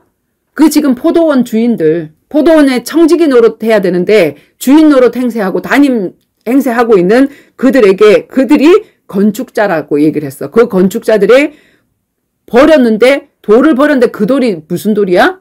예수라는 돌이야. 어. 그래서 그걸 바깥으로 버렸어. 그게 뭐지? 출교지. 바깥으로 버렸는데 예수님으로부터 초대교회가 시작이 돼. 이제 유대교회 끝이야. 그지? 거기서부터 시작이 돼요. 모퉁이 돌에 머리돌이 되었는데 예수님으로부터 시, 작해서 새로운 교회의 탄생이 되어져. 그리고 무릇 이돌 위에 떨어지는 자는 깨지겠고 이 돌리, 돌이 사람 위에 떨어지면 그를 가루로 만들어 흩어버리리라. 예수님의 예수님에게 부딪히는 자는 그게 반석이 되어질지 나를 부서뜨리는 게 되어질지 그치 예수님이 나의 반석이 돼야 되는데 내가 예수님 반대편에 서서 그렇게 그 포도원 주인의 역할을 하게 되어지면 나는 그 돌에 부서지는 자가 되어지는 거야 그치 그러니까 그 얘기를 하니까 서기관과 바리새인들이 예수님의 이 비유는 자기를 가리키는 거야. 아, 우리 보고 지금 이렇게 비유로 꼰질러서 이렇게 얘기를 하네? 그 풍자 하는 거 있잖아. 우리 정치, 정치 풍자 한다고 그 뭐 김재동이나 이런 사람들 막 걸고 넘어지고 막 이렇게 하잖아. 그런 것처럼 예수님이 그렇게 비과서 얘기를 하니까 요거 우리 얘기하는 거네? 하고 기분 나빠하면서 어떻게 하면 예수님을 잡아서 죽일까? 그거를 의논을 했다 그랬어. 그거를 의논을 하고서 뭐라고 했냐면 이제 물어보는 거야. 데나리온 하나를 가지고 가가지고 어, 예수님한테 물어봐. 뭐라고 물어보지? 자, 이거 어, 세금 바쳐야 되냐 말아야 되냐. 그지? 우리가 가이사에게 세를 바치는 것이 옳으니까 지금 이 나라가 가이사라는 그 속국이 되어 있잖아. 로마의 속국이 되어 있잖아. 그러니까 그 가이사에게 세금을 바, 바쳐야 되는데 이거 바쳐야 될까 말아야 될까 이걸 물어보고 있는 거야. 그러니까 예수님 뭐라 그러냐면 가이사의 것은 가이사에게 하나님의 것은 하, 하나님에게 이거 바치려는 거야 말려는 거야. 그치? 그래서 이런 모든 것들이 그냥 구약에서 있었던 일이고 예수님께 있었던 일이다. 이렇게 이, 이거면 이게 이해가 안 돼. 근데 이게 내가 이 현장 속에서 진짜 이게 그 뭐지? 미션홈 교회, 현장 교회, 정말 사람을 세우고 살리고 또 옮기고 다니고 이, 이런 거를 체험하게 되어지면 이런 것들이 이해가 되어지거든. 11조 누구한테 갖다 바쳐야 돼요? 근데 하이런 선생님이 이, 이 가이사의 것은 가이사에게 하나님의 것은 하나님에게 하나님 내가 가만히 생각을 해보니까 일주일에 한 번 가서 20분 설교 듣는 목사님 때문에 내 우울증이 난 게 아니라 박 집사님이 내가 일어나지도 못하는데 매일매일 찾아와서 사역을 해주고 하면서 내가 이렇게 회복이 되고 하나님을 만나서 이렇게 나도 제자가, 제자의 삶을 살고 싶은 이런 마음이 들게 하고 너무나도 감사한데 내가 퇴직금을 받았는데 이걸 누구한테 어떻게 해야 되지? 근데 교회다가 하려고 그러니까 집사님은 나 자기 직업을 다 내려놓고 이 일을 하고 있어, 지금. 차비도 없이 가면서 이 일을 하고 있어. 헌금도 안 받고 그 일을 하고 있어. 근데 난 내 마음에 감동이 되는 거는 나를 고쳐준 사람이야. 근데 어떻게 해야 되지? 아, 가이사의 것은 가이사에게 바치고 하나님의 것은 하나님에게 바치자. 그래서 10, 11조 그냥 의무적으로 해야 될 그 11조를 교회에다 바치고 그리고 그만큼에 해당하는 거를 집사님 제가 사실은 11조를 놓고 기도하고 있었는데 아무리 생각해도 나, 나를 이렇게 죽을 나를 살리, 살리고 내가 살리는 사는 일을 위해서 집사님이 월화수목금토일 하루라도 집사님이 걸렀다면 내가 정말 죽었을지도 자살해서 죽었을지도 모르는데 그런 날을 살리고 했던 그 집사님의 몫이 맞는 것 같다. 그러면서 그거를 저기를 했거든. 근데 만약에 이제 이렇게 하면 왜 평신도가 그걸 받았냐 이런 식으로 되 어지는 거지. 왜 지금 누구한테 11조를 내냐고. 모든 사람들이 왕 같은 제사장이요. 그때 당시에는 내가 진짜 다 내려놓고 가고 있기 때문에 그런 11조도 받아보는 그런, 그런 거를 체험을 했지만 지금은 내가 그 성도들한테 저기를 하지 않기 위해서 내가 직업을 가지고 일을 한단 말이야. 바울처럼. 바울이 그랬잖아. 내가 받을 권한이 없겠느냐? 복음을 전하는 일은 복음, 복음을 전하는 일로 하나님이 책임진다 그랬는데 내가 그거 받을 권한이 없겠어? 근데 내가 베드로처럼 당당하게 그거 받지 않아. 나 천막 짓는 일 하면서 내, 내 돈 벌어가면서, 내 차비 벌어가면서 내가 그 일 하는 거야. 패끼치지 않으려고, 성도들에게 패끼치지 않으려고. 근데 이게 지금 오늘날 얼마나 정당화가 돼서 당당하게 11조를 받아버리잖아. 이것도 없어져야 될 거거든? 그러면서 왜 평신도가 그렇게 됐냐. 뭐 이, 이런 식으로 저기를 해버리고. 그러니까 예수님이 지금 할 말이 없도록. 어, 가이사의 것은 가이사에게 바쳐. 하나님의 것은 하나님 바치면 되겠네. 그랬더니 이 사람들이 책을 잡지 못하고 이걸 어떻게 하지? 어, 죽이려고 하는데, 잡아 죽이려고 하는데. 그런 식으로 되어 있는 거지. 아, 네, 그렇습니다. 어, 그래서, 어, 진짜 이 포도원 청지기의 비유가 그때 당시에 그 사람들이 아니라 지금 오늘날 교회가 정말 그래. 진짜 포도원 청지기의 비유. 그래서 우리는 그냥 이제 헌금 없이 그냥 내가 올라오는 게 자비가 그 헌금이잖아. 그치? 내가 올라오는 얼마나 돈 많이 들여서 올라왔어. 그거고 또 내가 누구를 살리러 가는 그게 성경 헌금이고 그렇게 하면 되거든. 그리고 내가 이 은혜 받은 걸 또 다른 사람한테 내가 또 다른 사람을 세우는데 이렇게 해줘야지 이렇게 하면 되는 거고. 어 그래서 유형교회 야 대한예수교 장로교 무슨 뭐야? 아니야. 어, 우리는 대한예수교고 아니고 무슨 뭐, 뭐 순복음도 아니고 아니야. 오직 복음. 이, 이, 이 성경이야 그냥. 근데 그거 다 누가 만들었냐고 교단을. 근데 그런 교단에 속해 있지 않으면 예수 믿는 사람이 아닌 것처럼 생각하지. 이단인가? 이렇게 생각하잖아. 사실 그들이 이단이거든. 성경과 다르게 지금 가고 있잖아. 성경에 어디 교단을 만들어 놨어. 가다 보니까 이상하게 교단이 되어지고 이렇게 됐지. 교단끼리 서로 싸우고. 그치? 그래서 무형교회와 유형교회의 싸움. 우리는 지금 눈에 보이는 십자가 달리고 여기에 무슨 교회다, 뭐 방주교회다 이런 거 뭐 안 적어놨잖아. 내가 15년 전에 사역을 할 때도 우리가 매일 모여서 제자 훈련을 했다 그래서 매일 교회라고 얘기했거든.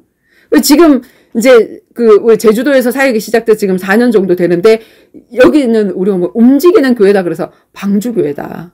방주가 제주도에도 떴다가 여기도 올라왔다가 이렇게 하면서 했거든. 그러니까 보이는 교회가 아니야. 공격을 당할 수가 없어. 그치? 그리고 local church와 para church. local은 뭐지? 지역에 어떤 스탠드 되어 있는 교회. standing 되어 있는 교회. 파라처치는 현장 교회.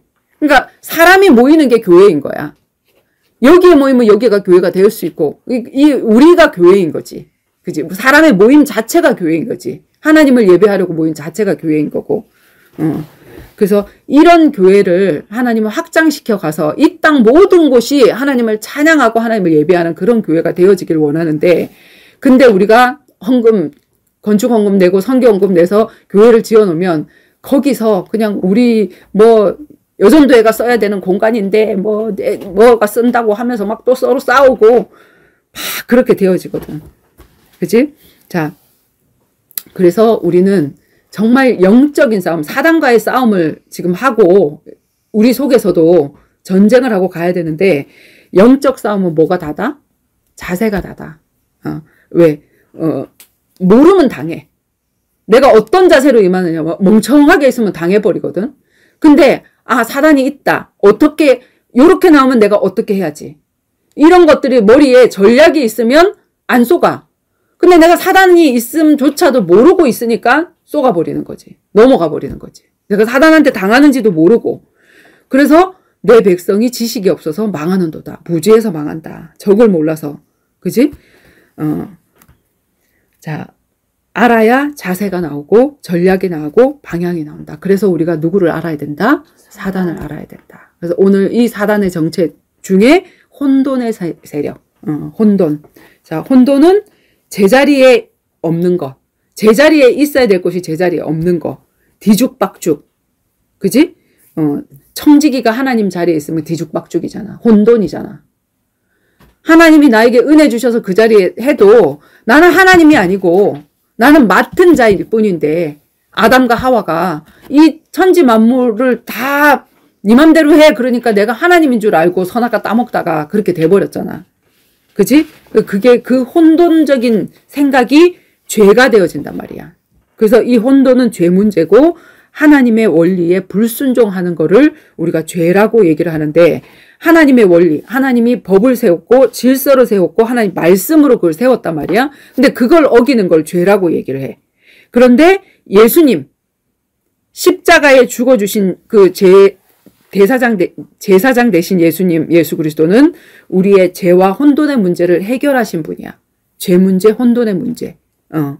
그래서 어 말씀이 육신되어서 오시기까지 그리고 죽기까지 순종해서 우리가 불순종해서 일어난 혼돈의 문제, 죄의 문제를 주님은 말씀이 육신이 되어서 오시기까지 어, 하나님이신데 사람 모습을 입고 오시기까지 순종한 어, 죽기까지 순종한 그 순종을 통해서 인간이 어긴 법을 몸소, 몸소 지키러 오신 어, 분이 바로 예수 그리스도지 그지? 로마서 5장 17절에서 19절. 로마서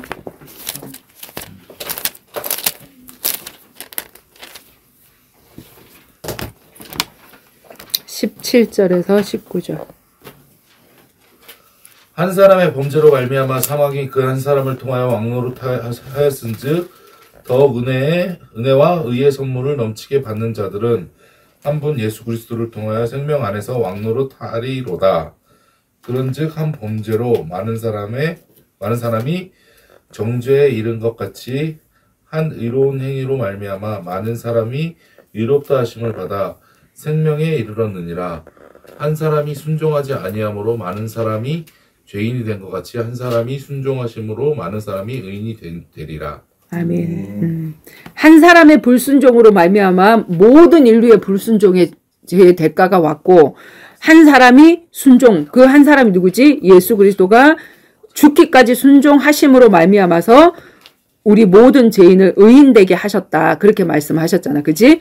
그래서 예수님이 어 저기 뭐지 구약에 어 사, 사울에게 어 사무엘이 뭐라 그랬지? 순종이 제사보다 낫다. 나 하나님 앞에 예배 드리려고 좋은 거 남겼어요. 하나님이 다 죽여, 다 진멸해 그랬는데 자기는 진멸했다고 생각하는 게 혼돈인 거야. 무슨 말이냐면 어 우리는 80% 90%를 하고 어, 나 그래도 잘 했는데 이렇게 생각하잖아. 근데 하나님은 그런 사울에게 자기는 자기 나름대로 신앙생활 잘했다고 생각하고 기념비까지 세웠거든. 근데 그, 그게 착각이지. 하나님이 그를 왕으로 세우신 것을 후회하노라 했는데 지는 기념비 세우고 있어. 아 잘했다고 하면서. 오늘날 그런 일이 너무 많아. 아, 나 나같이 신앙생활 하면 그 정도 하면 됐지. 근데 하나님은 진노의 대상. 모르는 거야, 지금. 그지? 어. 그래서 순종이 제사보다 낫다.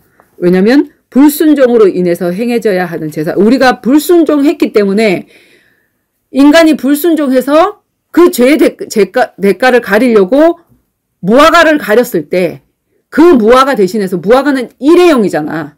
바람 불면 날아가잖아. 그러니까 그 일회용으로 죄를 가리는 것 대신에 옆에 있는 짐승 한 마리를 죽여서 아담과 하와의 죄가를 가려줬단 말이야. 그지? 그래서 우리가 불순종하지 않으면 옆에 있는 짐승이 안 죽었어. 짐승은 죄를 지었냐? 짐승 죄 안 졌거든. 인간이 죄 졌거든. 근데 인간이 죄 지은 것 때문에 옆에 있는 짐승이 죽었듯이 우리가 불순종한 것 때문에 누가 죽어? 예수가. 그지? 불순종으로 인해서 행해져야 하는 그 제사의 비밀, 희생제사, 양을 죽이는 그 제사의 비밀. 순종하면 끝이야. 그지? 어, 죄의 결과도 죽음이지만 우리가 죄의 결과도 죽으지만 예수님은 순종한 결과 뭐가 왔어? 죽음이 왔어. 순종한 결과 예수님은. 그래서 어, 순종했는데 망하고 망하고 망하고. 어, 나는 나 하나님 유치원 왜 하게 하셨을까? 난 유치 그 신학교 유아교육과 가기 싫었는데 아, 내 현장이 이 유아교육 현장인가 보다. 그럼 여기를 선교 현장 삼아서 나 복음 전해야지. 나 진짜 돈 벌라고 한 게 아니야. 유치원 세운 게. 근데 시작을 했는데 망해. 어, 나는 주님의 뜻대로 살려고 했는데 망해. 또 망해. 또 망해. 또 망해. 또 망해. 또 망해. 불나고. 우리 선생님이 우리 애들 유치원 다 데리고 가가지고 또 망하고. 고공립 어린이집에서 생겨가 또 망하고 쫄딱 망해. 순종했는데. 어, 뭐지? 순종했는데? 근데 마지막에 하나님, 주님이 나의 인생을 길을 알려주시면 내가 망해도 하나님의 뜻인 게 밝게 보여주면 내가 그 길 갈 테니까 하나님 알려주세요. 그리고 망하니까 안 해야지 하고 도망을 간 게 아니라 하나님 망해도 그 길 갈게요. 근데 나, 내 앞에 길이 안 보여요. 근데 가만히 생각하니까 망하고 있는데 내가 여기서 제일 잘할 수 있는 거. 내가 원장이니까 내 마음대로 예배 드릴 수 있어. 수요 예배, 금요 예배 마음대로 갈 수 있어. 바깥에서 띵동띵동 전도하기 너무 힘든데 원장님하고 찾아오는 아이들한테 복음 더 잘 전할 수 있어. 어? 내 마음대로 예배할 수 있고 내가 예배를 결단했는데 내가 전도를 위해서 살겠다고 했는데 진짜 내가 원장님하고 오는 학부형들, 아이들, 선생님들한테 복음 제일 전할 수, 전할 수 있는데 있는 곳이네. 하나님, 내가 망해도 하나님의 뜻이 있는 곳에 그게 가겠다 그랬죠. 근데 지금 내가 망하고 있는데 예배하고 전도는 여기가 제일 잘 되네요. 내가 남 밑에 들어가서 어떻게 어떻게 예배를 제대로 드릴 수 있겠습니까? 그럼 내가 망해도 이 길 갈게요. 정말 망하는 걸 결단하고 그 길 갈게요 했는데 그 뒤부터 길이 쫙 열리기 시작해. 부활. 그걸 체험하는 게 신앙생활이야. 그걸. 아, 망하니까 도망가고. 아, 막 전, 전도자에게 언니 따라 같이 가겠습니다. 했다. 망할 것 같으니까 가고. 그게 아니라 정말 망하고 망하고 망하는 거를 체험해봐서 그래도 가겠습니다 하는 그 고백 위에 하나님이 아 너는 이제 됐구나. 넌 진짜구나. 나, 내가 너한테 진짜 영혼 맡겨줘도 되겠구나. 그랬을 때 하나님이 뭐 불신자의 마음을 들어서 우리 집 우리 유치원 인테리어 해주겠다고 와갖고 인테리어도 해주고 그리고 다른 유치원에 가세요. 내가 저 유치원은 시, 우리보다 시설도 좋고 그러니까 우리 유치원은 시설 열악하니까 가세요. 다 가봤습니다. 원장님 밑에 있겠습니다. 다 오고. 그럼 나 딱 들어눕혀 놓고 오나무 집 한꺼번에 다 되게 하시고. 그런 것들을 체험하는 게 신앙생활이거든. 자, 어, 예수님도 그랬잖아. 나 내가 정말 이 길 가기 싫은데 될 수만 있으면 이 잔이 넘어갔으면 좋겠는데 그러나 나의 뜻대로 하지 마옵시고 아버지의 뜻대로. 아버지의 뜻이 뭐야? 죽는 거야 십자가에. 근데 죽어야 어떻게 되지? 부활을 체험하지. 자꾸 기절만 하고 부활을 체험하겠대. 무슨 천군 천사가 나를 좀 동행하는 걸 보고 싶대. 그러면 어떻게 해야 돼? 사단의 역사가 일어나는데도 나한테 위급한 상황이 오는데도 진짜 하나님의 뜻이면 그 길을 직방으로 가는 직진하는 그거를 해볼 때 천군 천사가 동행해서 나를 도와주는 그걸 체험을 하지. 물도운 순종한. 응? 물도운. 물도운 하인들만 알더라. 어, 포도 포도 아니 그 뭐지 저기 뭐지 혼인 잔치 가나의 혼인 잔치에서 자 사단이 어떤 존재야? 사단 사단 사단 타락한 천사. 천사 잖아. 그지? 자, 이 타락한 천사는 자기 자리를 알지 못했어. 혼돈은 뭐냐면 자기 자리에 있지 않고 뒤죽박죽인 거. 화장실에 국자가 있는 거야. 괜찮네. 깨끗한데 깨끗하게 100번을 닦았어. 근데 국자가 있어. 그 다음에 엉뚱하게 있는 거. 그걸 갖다 보면 아무 깨끗한 게 상관이 없어. 어, 있어야 될 자리에 없는 게. 아니, 저, 저거를 그냥 100번을 닦았어, 변기를. 그리고 밥 말아 먹으면 될까? 혼돈이잖아, 거기가. 그걸 갖다 혼돈이라고 하거든? 근데 지자리에 없는 거. 자, 지금, 어, 유다서 1장 6절에 뭐라고 돼 있지? 또 음. 자기 주의를 지키지 아니하고 자기 처소를 떠난 천사들을 큰 날의 심판까지 영원한 결박으로 흑암에 두셨으며 음. 자, 자기 지위를 지키지 않고 자기 처소를 떠난 천사가 누구야? 자기 지위가 뭐였어? 찬양 담당 천사. 하나님을 찬양하면 돼, 그냥. 아름다운 옷을 입고, 홍보석과 무슨 보석과 뭐, 찬양만 하면 되거든. 근데 자기 위치, 위치를 지키지 않고 자꾸 찬사를 해주고 아름답다, 아름답다 해주니까 이게 도끼병이 들었어, 도끼병이. 지가 하나님인 것처럼. 그래서 하나님의 자리를 넘보다가 그 자리에 올라가지 못하고 자기 자리도 어, 차지하지 못하고 땅에 내려서 떨어진 존재란 말이야. 있을 곳에 있는 게 질서다. 그래서 그지? 내가 있을 곳이 어딘지. 자꾸 이제 집에 있으면 회사 가서 일하고 싶고 회사 가서 일하면 집에 오고 싶고 응? 겨울이면 여름 그리워하고 여름 그리, 여, 여름이면 겨울 그리워하고 지금 있는 이, 시, 이 시간을 누려야 되거든. 그래서 요셉은 하나님이 자기를 감옥에 꽂아두면 거기서 최선을 다하고 나를 노예로 만들어주면 노예의 상황에서 최선을 다하니까 하나님이 그 모든 과정을 다 거치고 거치고 또 다른 곳에 인도하시고 하나님의 테스트에 완전히 합격해서 가잖아. 그지? 완전 밑바닥에서. 그걸 알아야 되거든. 자, 피조물이 창조주의 자리에 올라가려 한 사건이 어, 그 하극상의 사건인데 창조주가 그래서 반대로 어떻게 됐냐면 피조물이 창조주가 되려고 한 사건 때문에 하나님이 어떻게 내려왔어? 다시 창조주가 피조물의 자리로 내려오게 됐어. 이 사단이 일으킨 사건 때문에 하나님이 하나님의 자리에 있지 않고 이 땅에 내려와야 될 만큼 자리를 바꾸, 바꾸게, 낮, 낮은 자리에, 그지? 피조물의 자리에 내려오신 만큼. 그래서, 자, 그리고 이제 뒤로 넘어가서, 음. 자, 혼돈 반대말, 하나님의 말씀. 하나님은 말씀이시고, 하나님은 질서의 하나님이시고, 하나님은 하나님 말씀 자체가 아니야. 뭐라고 뭐라 그래? 아니야. 그만하자 그러겠지. 그만하자였어? 음. 왜? 아니야. 해. 아 얘기를 해줘야지. 하고 싶은 만큼 해요. 응. 하나님 말씀은 흐름을 깨놓고 있어. 하나님은 말씀 자체 말을 딱 내놓으면 빛이 있으라 그러면 그 빛이 계속 있고 지금 지구가 계속 돌아가잖아. 그 법대로 계속. 그냥 하나님 말씀이 법이고 하나님 말씀이 계명이고 그래서 그 하나님이 창조하신 창조 방법 순서 혼돈스럽게 사람들이 알고 있는 걸 이제 정리를 하는 거야. 어떻게 정리하냐면 창조의 방법은 식물과 짐승과 사람이 다 달라. 그지? 식물은 뭘로? 그냥 말씀으로만 있으라 하니까 씨의 상태로부터 있었더라. 창세기 1장 11절.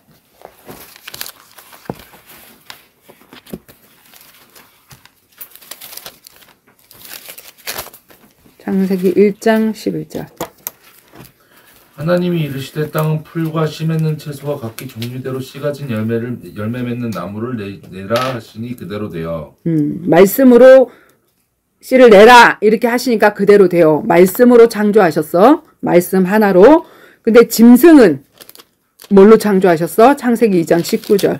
여호와 하나님이 흙으로 각종 들짐승과 공중의 각종 새를 지으시고 아담이 무엇이라고 부르나 보시려고 그들을 그에게로 끌어가시니 아담이 각 생물을 부르는 것이 곧 그의 이름 그 이름이 되었더라 되었더라 하나님이 사람만 흙으로 창조하신 게 아니라 여호와 하나님이 흙으로 각종 들 짐승과 공중의 각종 새를 지으시고 그치? 어, 육을 만드셨어. 흙으로 만드셨어. 그리고 이 존재는 생각하고 사고하고 감정이 있는 영역이야.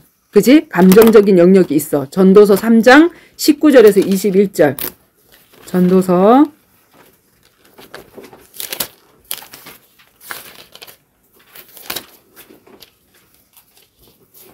3장 19절에서 21절.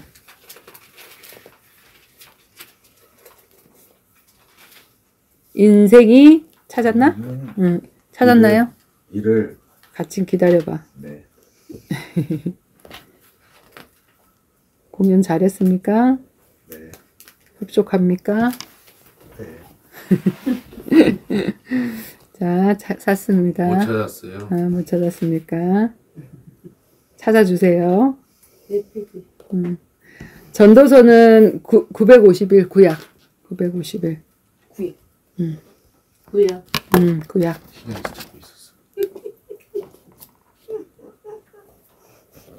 찾았습니까? 안 찾았어요.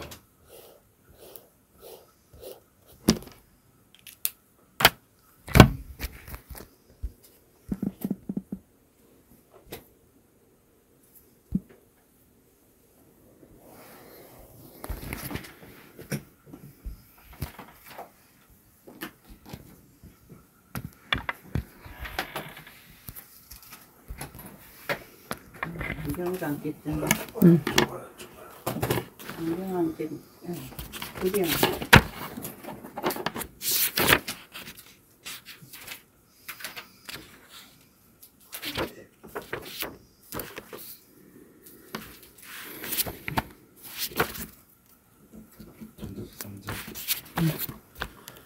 전도서 21절. 응. 읽어볼게요. 인생이 당하는 일을 짐승도 당하나니 그들이 당하는 일이 일반이라 다 동일한 호흡이 있어서 짐승이 죽음같이 사람도 죽으니 사람이 짐승보다 뛰어남이 없음은 모든 것이 헛됨이로다 다 흙으로 말미암았으므로 다 흙으로 돌아가리니 다 한 곳으로 가거니와 인생이 그 혼으로 인생의 인생들의 혼은 혼은 위로 올라가고 짐승의 혼은 곧 따- 아래 아래 곧 땅으로 내려가는 줄 누가 알랴 음. 인생의 혼도 있고 짐승의 혼도 있다 그랬지, 그지? 그래서 어, 흙으로 빚었고 육이 있고 혼이라는 영역이 있다라고 말씀하시고 계시고 그 다음에 사람은 뭐냐면 하나님이 흙으로 빚으시고 말씀으로 창조하시고 생기를 불어넣었다. 그 생기가 뭐야? 하나님의 영.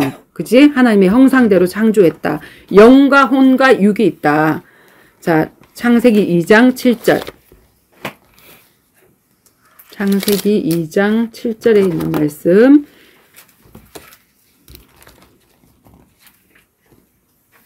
여호와 하나님이 땅의 흙으로 사람을 지으시고 생기를 그 코에 불어넣으시니 사람이 뭐가 됐더라? 생령, 살아있는 영이 됐더라. 그러니까 영적인 존재로 창조하셨다. 우리는 영과 혼과 육이 있다라고 히브리서 4장 12절에도 나타내고 있어. 그치? 히브리서 4장 12절.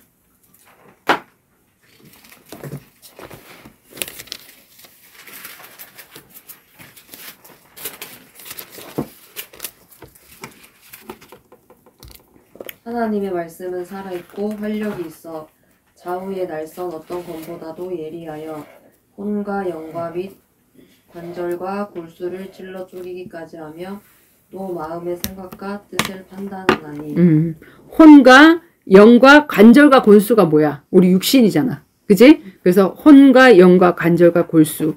그 마음과 생각은 혼의 영역이지, 그지? 마음과 생각을, 까 뜻을 감찰하신다 얘기했고. 데살로니가 전서 5장 23절. 살전.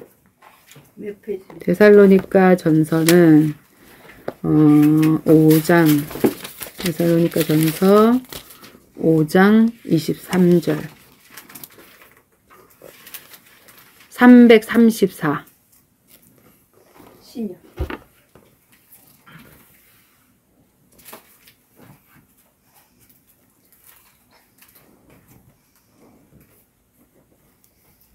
334 대살로니까 전서 5장 23절 평강의 하나님이 친히 너희를 온전히 거룩하게 하시고 또 너희의 온 영과 혼과 몸이 우리 주 예수 그리스도께서 강림하실 때에 흠 없게 보존되기를 원하노라. 아멘.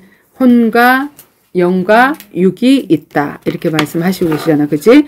자, 그래서 하나님의 창조 방법이고, 창조의 순서도 하나님이 다 공간을 먼저 만드시고, 그 공간을 누릴 존재를 마지막에 만드셨어요. 예를 들어서 우리가 물고기를 키우고 싶은데 물고기부터 먼저 사지 않지. 집안에 어항을 먼저 만들고 그 물고기가 놀 수 있는 그 공간을 다 만들고 난 다음에 어항에 물고기를 집어넣듯이 하나님도 그렇게 하셨단 말이야. 그래서 첫째 날, 둘째 날, 셋째 날은 공간을 만드신 거고 넷째 날, 다섯째 날, 여섯째 날은 통치의 대상들을 만드셨어.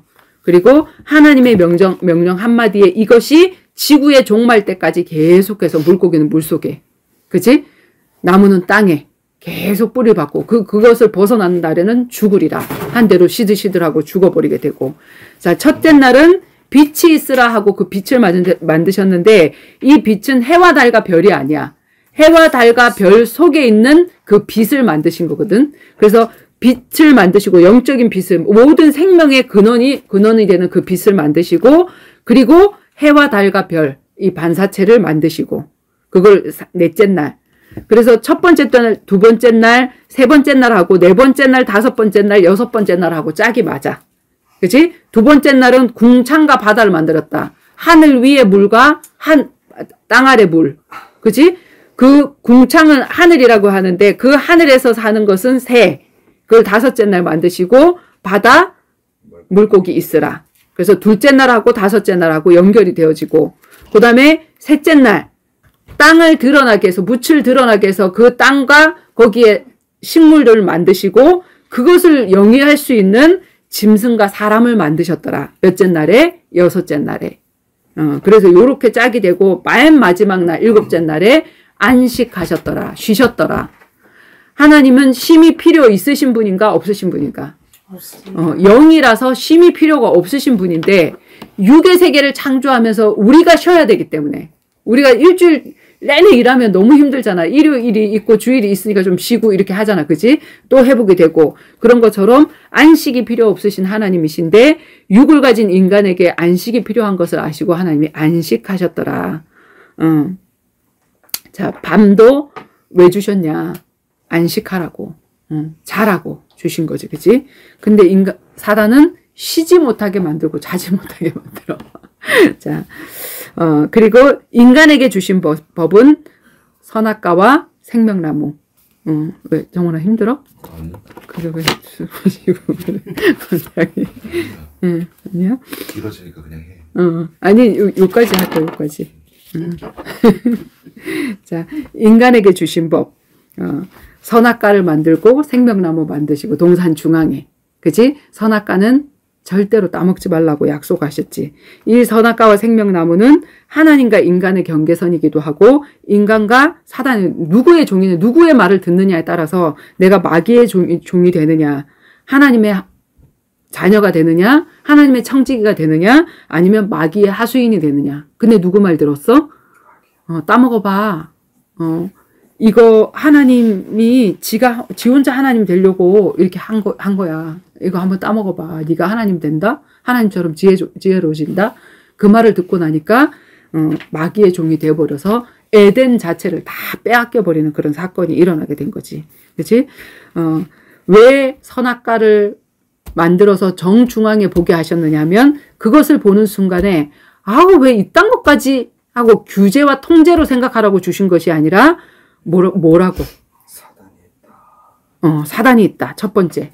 두 번째 뭐지? 청직이다. 어, 특별한 은혜를 받았고, 나도 모든 만물들하고 똑같이 다를 바 없고, 오히려 더 연약한데, 하나님의 은혜를 입어서 이 모든 것들을 창조할 수 있, 아, 그 뭐지, 다스릴 수 있는 그런 특별한 은혜를 받은 존재구나. 나는 피조물이고, 아, 창조주가 아니구나.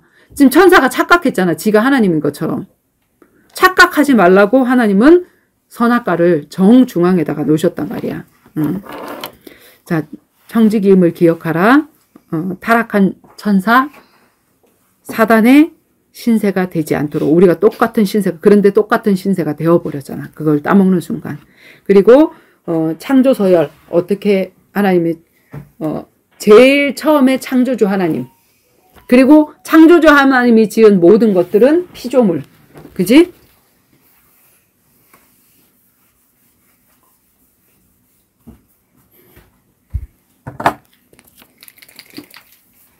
하나님, 하나님이 영계를 만드셨어. 천사. 그런데 이 천사들 중에 변종이 생겼어. 변종 천사, 타락한 천사. 이게 루시퍼야. 마귀야. 사탄이야. 자, 그리고 영적인 존재는 시공간을 초월하지. 그런데 우리는 육을 입었어. 그래서 천사보다 약간 못한 존재로 만드셨다 그랬지. 그지? 왜? 육이 있어서 제한이 있으니까, 사람. 사람은 영과 혼과 아까 육이 있다 그랬고, 천사는 영만 있고. 그지? 그 다음에 동물. 동물은 뭐만 있다 그랬어? 영이 없어. 혼과 육이 있다 그랬고. 그 다음에 식물. 식물은 그냥 육만 있지. 움직일 수도 없고, 어, 수동적이고, 잡아먹히고. 그리고 그 밑에 광물, 돌띠. 돌멩이. 생명이 없어. 그지? 얘네들은 생명이 있어. 그래서 강물은 생명이 없어서 뭐라 그런다 그래? 무, 무생물. 음. 이런 순서대로 만들었는데 이 존재에게 하나님의 형상을 집어넣었단 말이야. 그래서 어, 하나님의 대리자로 하나님의 형상 때문에 모든 만물을 정복하고 다스리는 존재의 축복으로 그렇게 만드셨는데 이 인간이 타락한 천사, 찬양 담당 천사 대신에 하나님을 찬양하기 위해서 만든 존재. 이 존재가 찬양을 담당했는데 찬양 담당 천사가 떨어져서 하나님에게 찬양할 존재가 없어졌잖아. 인간을 하나님이 왜 만드셨다 그랬냐면 이사야서 43장 21절 한번 찾아봐봐. 이사야서. 이 백성은 내가 나를 위하여 지었나니 나를 찬송하게 하려 함이니라. 아멘. 이 백성, 하나님의 백성. 왜 창조했냐면 하나님이 찬양을 너무 좋아해서 찬양을 담당하는 천사를 만들었는데 이 존재가 타락해서 그 자리가 지금 비었단 말이야. 하나님이 사람을 만드셨는데 이 사람을 왜 만들었다고? 이 백성은 내가 나를 위해서 창조했나니 나의 찬양을 부르기 위해서 하나님 창조했다. 이렇게 말씀하시지. 그지? 어, 근데 우리가 이 찬양도 올바로 알아야 될 게 노래로 곡조로 하는 그 찬양이 아니라 뭐가 찬양이야? 진짜 신앙 고백이 찬양이야. 그리 아니하실지라도 이게 얼마나 멋진 찬양이냐고. 그지? 당신이 그리 아니하실지라도 나는 어, 찬양 어, 주님을 따라갑니다 하는 그런 믿음의 고백들. 음. 자, 창세기 9장 1절에서 2절 말씀. 하나님이 처음에도 생육하고 번성하고 정복하고 다스리라. 그런데 싹 쓸어버리고 새롭게 노아. 노아를 통해서 약속하신 것도 똑같아. 우리 하나님이 노아 그 아들들에게 복을 주시면 그들에게 이르시되 생육하고 번성하여 땅이 충만하라 땅의 모든 짐승과 공중의 새와 땅에 기는 모든 것과 바다의 모든 물고기가 너희 두려워하면 너희를 무서워하리니 그것들이 너희 손에 붙었음이니라. 음, 하나님이 그 손에 붙여서 다스리라고 그들이 나를 두려워하게끔 그렇게 만들었다. 그런 존재다. 우리 인간이 어마어마한 존재지. 그지? 자, 하나님이 우리를 구원하시는 순서 어떻게? 하나님이 사람 모습으로 육신을 입고 오셔서 십자가에 못 박혀서 죄의 삭신 그 죄의 삭은 사망이고 생명은 피에 있기 때문에 피를 흘려서 죽으시고 십자가에 죽으시고 그리고 부활하시는 방식으로 순서가 하나 빼먹으면 안 돼. 그지? 어, 사람의 모습을 입고 오신 예수님을 우리가 모르면 그건 예수님을 아는 것이 아니라고 얘기를 했거든. 그래서 반드시 그렇고 그리고 우리가 이렇게 구원되어지면 제일 처음에 영접하는 자 그 이름을 믿는 자들에게는 하나님의 자녀가 되는 권세를 주셨으니 사람이 태어나도 아이에서 점점점 자라서 청년이 되어지고 시집가고 장가가고 이런 것들이 있듯이 그거를 예표해서 하나님은 하나님 자녀가 되게 하셨고 그리고 이 자녀가 반드시 십자가의 과정을 거치면서 사단과 싸울 수 있는 왜 사단에게 졌잖아. 그래서 우리에게 자꾸 전신갑주로 무장하라 그러고 영적인 싸움 하라고 하는 거거든. 그래서 우리는 그리스도의 군사가 돼야 돼. 이스라엘 백성들이 애굽에서 나올 때 그들이 430년이 지나는 날에 여호와의 뭐가 나왔더라? 군대가 나왔더라. 근데 군대는 군대인데 무슨 군대야? 훈련 안 된 군대야. 그, 그 훈련을 어디서 하실 거야? 광야에서 하실 거야. 호랑이는 호랑이로 태어나긴 태어났는데 새끼 호랑이야. 독수리로 태어나긴 태어났는데 새끼 독수리야. 어떻게 해야 돼? 훈련되어져야 돼. 안 그러면 밥이야. 새끼는. 하나님 자녀는 밥이야. 그래서 마지막 날에 너희가 아이 벤 자와 젖 먹이는 자는 화해 있을진저. 어린아이로 살면 화해 있을진저. 사단한테 다 당해. 훈련 받고도. 그지? 그래서 우리가 점점 자라나서 청년 군사의 신앙으로 자라나서 그리스도와 1대1로 만나는 완성된 성도, 완, 완성된 교회, 신부의 신앙으로 자라나고, 그리고 아브라함은 나의 벗이라, 너희 나의 친구라, 그지? 친구로까지 자라나서 어, 중매해 줄 수 있는 다른 사람들을 또 그렇게 만나게 해줄 수 있는 그런 사람으로 자라나게 하시는 게 이게 구원의 과정이란 말이야. 영접해서 하나님 자녀 돼서 다 끝났어 이게 아니란 말이야. 거기서부터 시작이라고. 자, 그리고 영적인 것은 전부 다 하나님의 어두움에서 시작해서 그지? 저녁이 되며 아침이 되니. 우리는 어떻지? 아침에서 저녁으로 시작하잖아. 일일. 또 아침이 됐네? 또 저녁이 됐네? 아 힘드네? 이렇게 되잖아. 그런데 성경은 어떻게 말하고 있냐면 저녁이 되며 아침이 되니 이는 첫째 날입니다. 그래서 이스라엘은 저녁부터 시작이 되어져. 어. 그리고 절망에서 희망으로. 하나님은 우리의 절망은 예수님을 만날 수 있는 절호의 기회고 예수님 만나면 빛이 되어져. 어둠이 빛이 되어지고 죽음에서 부활 생명으로 살아나고 그지? 예수 그리스도는 회복의 영이기 때문에 반대로 육의 생명은 어떠냐면 날로 날로 부패하지. 제일 처음에 태어났을 때 우리 정원이 얼마나 이뻤어. 그냥 막이 이 피부가 그냥 막, 막 뽀얗고 애기 같고 막 그냥 막 너무. 늙고 병들고 지쳤어. 지금 어, 그만해. 그랬어. 그지? 어, 출생에서 사망으로. 젊음에서 늙음으로. 건강함에서 병듦으로. 그지? 이렇게 점점, 점점 되어져 가는 게 육이다. 그래서 우리는 반드시, 어, 뭐지? 이 영적인 존재, 사단과 싸우기 위해서 하나님이 만드신 존재라는 걸 알고, 아, 이 혼돈의 세력이 어떻게 우리를 무너뜨리는지 정확하게 영적인 지식을 바르게 알려주는 사람이 되어야 되거든. 뒤죽박죽이 아니라. 어. 그래서 사실은 오늘 요 뒤까지 하려고 그랬는데 어, 뒤까지 하면 난리가 나겠습니다. 그래서 여기까지. 자, 아까 누, 누구였지? 하나만 기도해요. 하나 힘들대. 경태 기도해. 하나님 감사합니다. 늦은 시간까지 진짜 하나님과 예수님을 알기 위하여 이렇게 어, 예배드리며 어, 또 이렇게 알아가는 시간을 갖게 해주신 은혜 감사합니다. 멀리서 또 우리 지에 와서 어, 또 같이 예배 드릴 수 있게 해주시니 그 은혜 또한 감사드립니다. 왔을 때 또 예배, 예배 가운데 어, 정말 하나님의 어, 은혜를 많이 느끼고 또 삶에 어, 하나님 또 예수 그리스도가 인도하시는 그 길을 어, 받은 그 증거로 또 살아갈 수 있는 한 주간이 될 수 있도록 주님께서 인도해 주세요. 감사드립니다. 예수 그리스도 이름으로 기도하였습니다. 아멘. 지났어? 지났어? 아, 삼촌 공연할 때 왔어야지. 동영상을 좀 보긴 봤는데.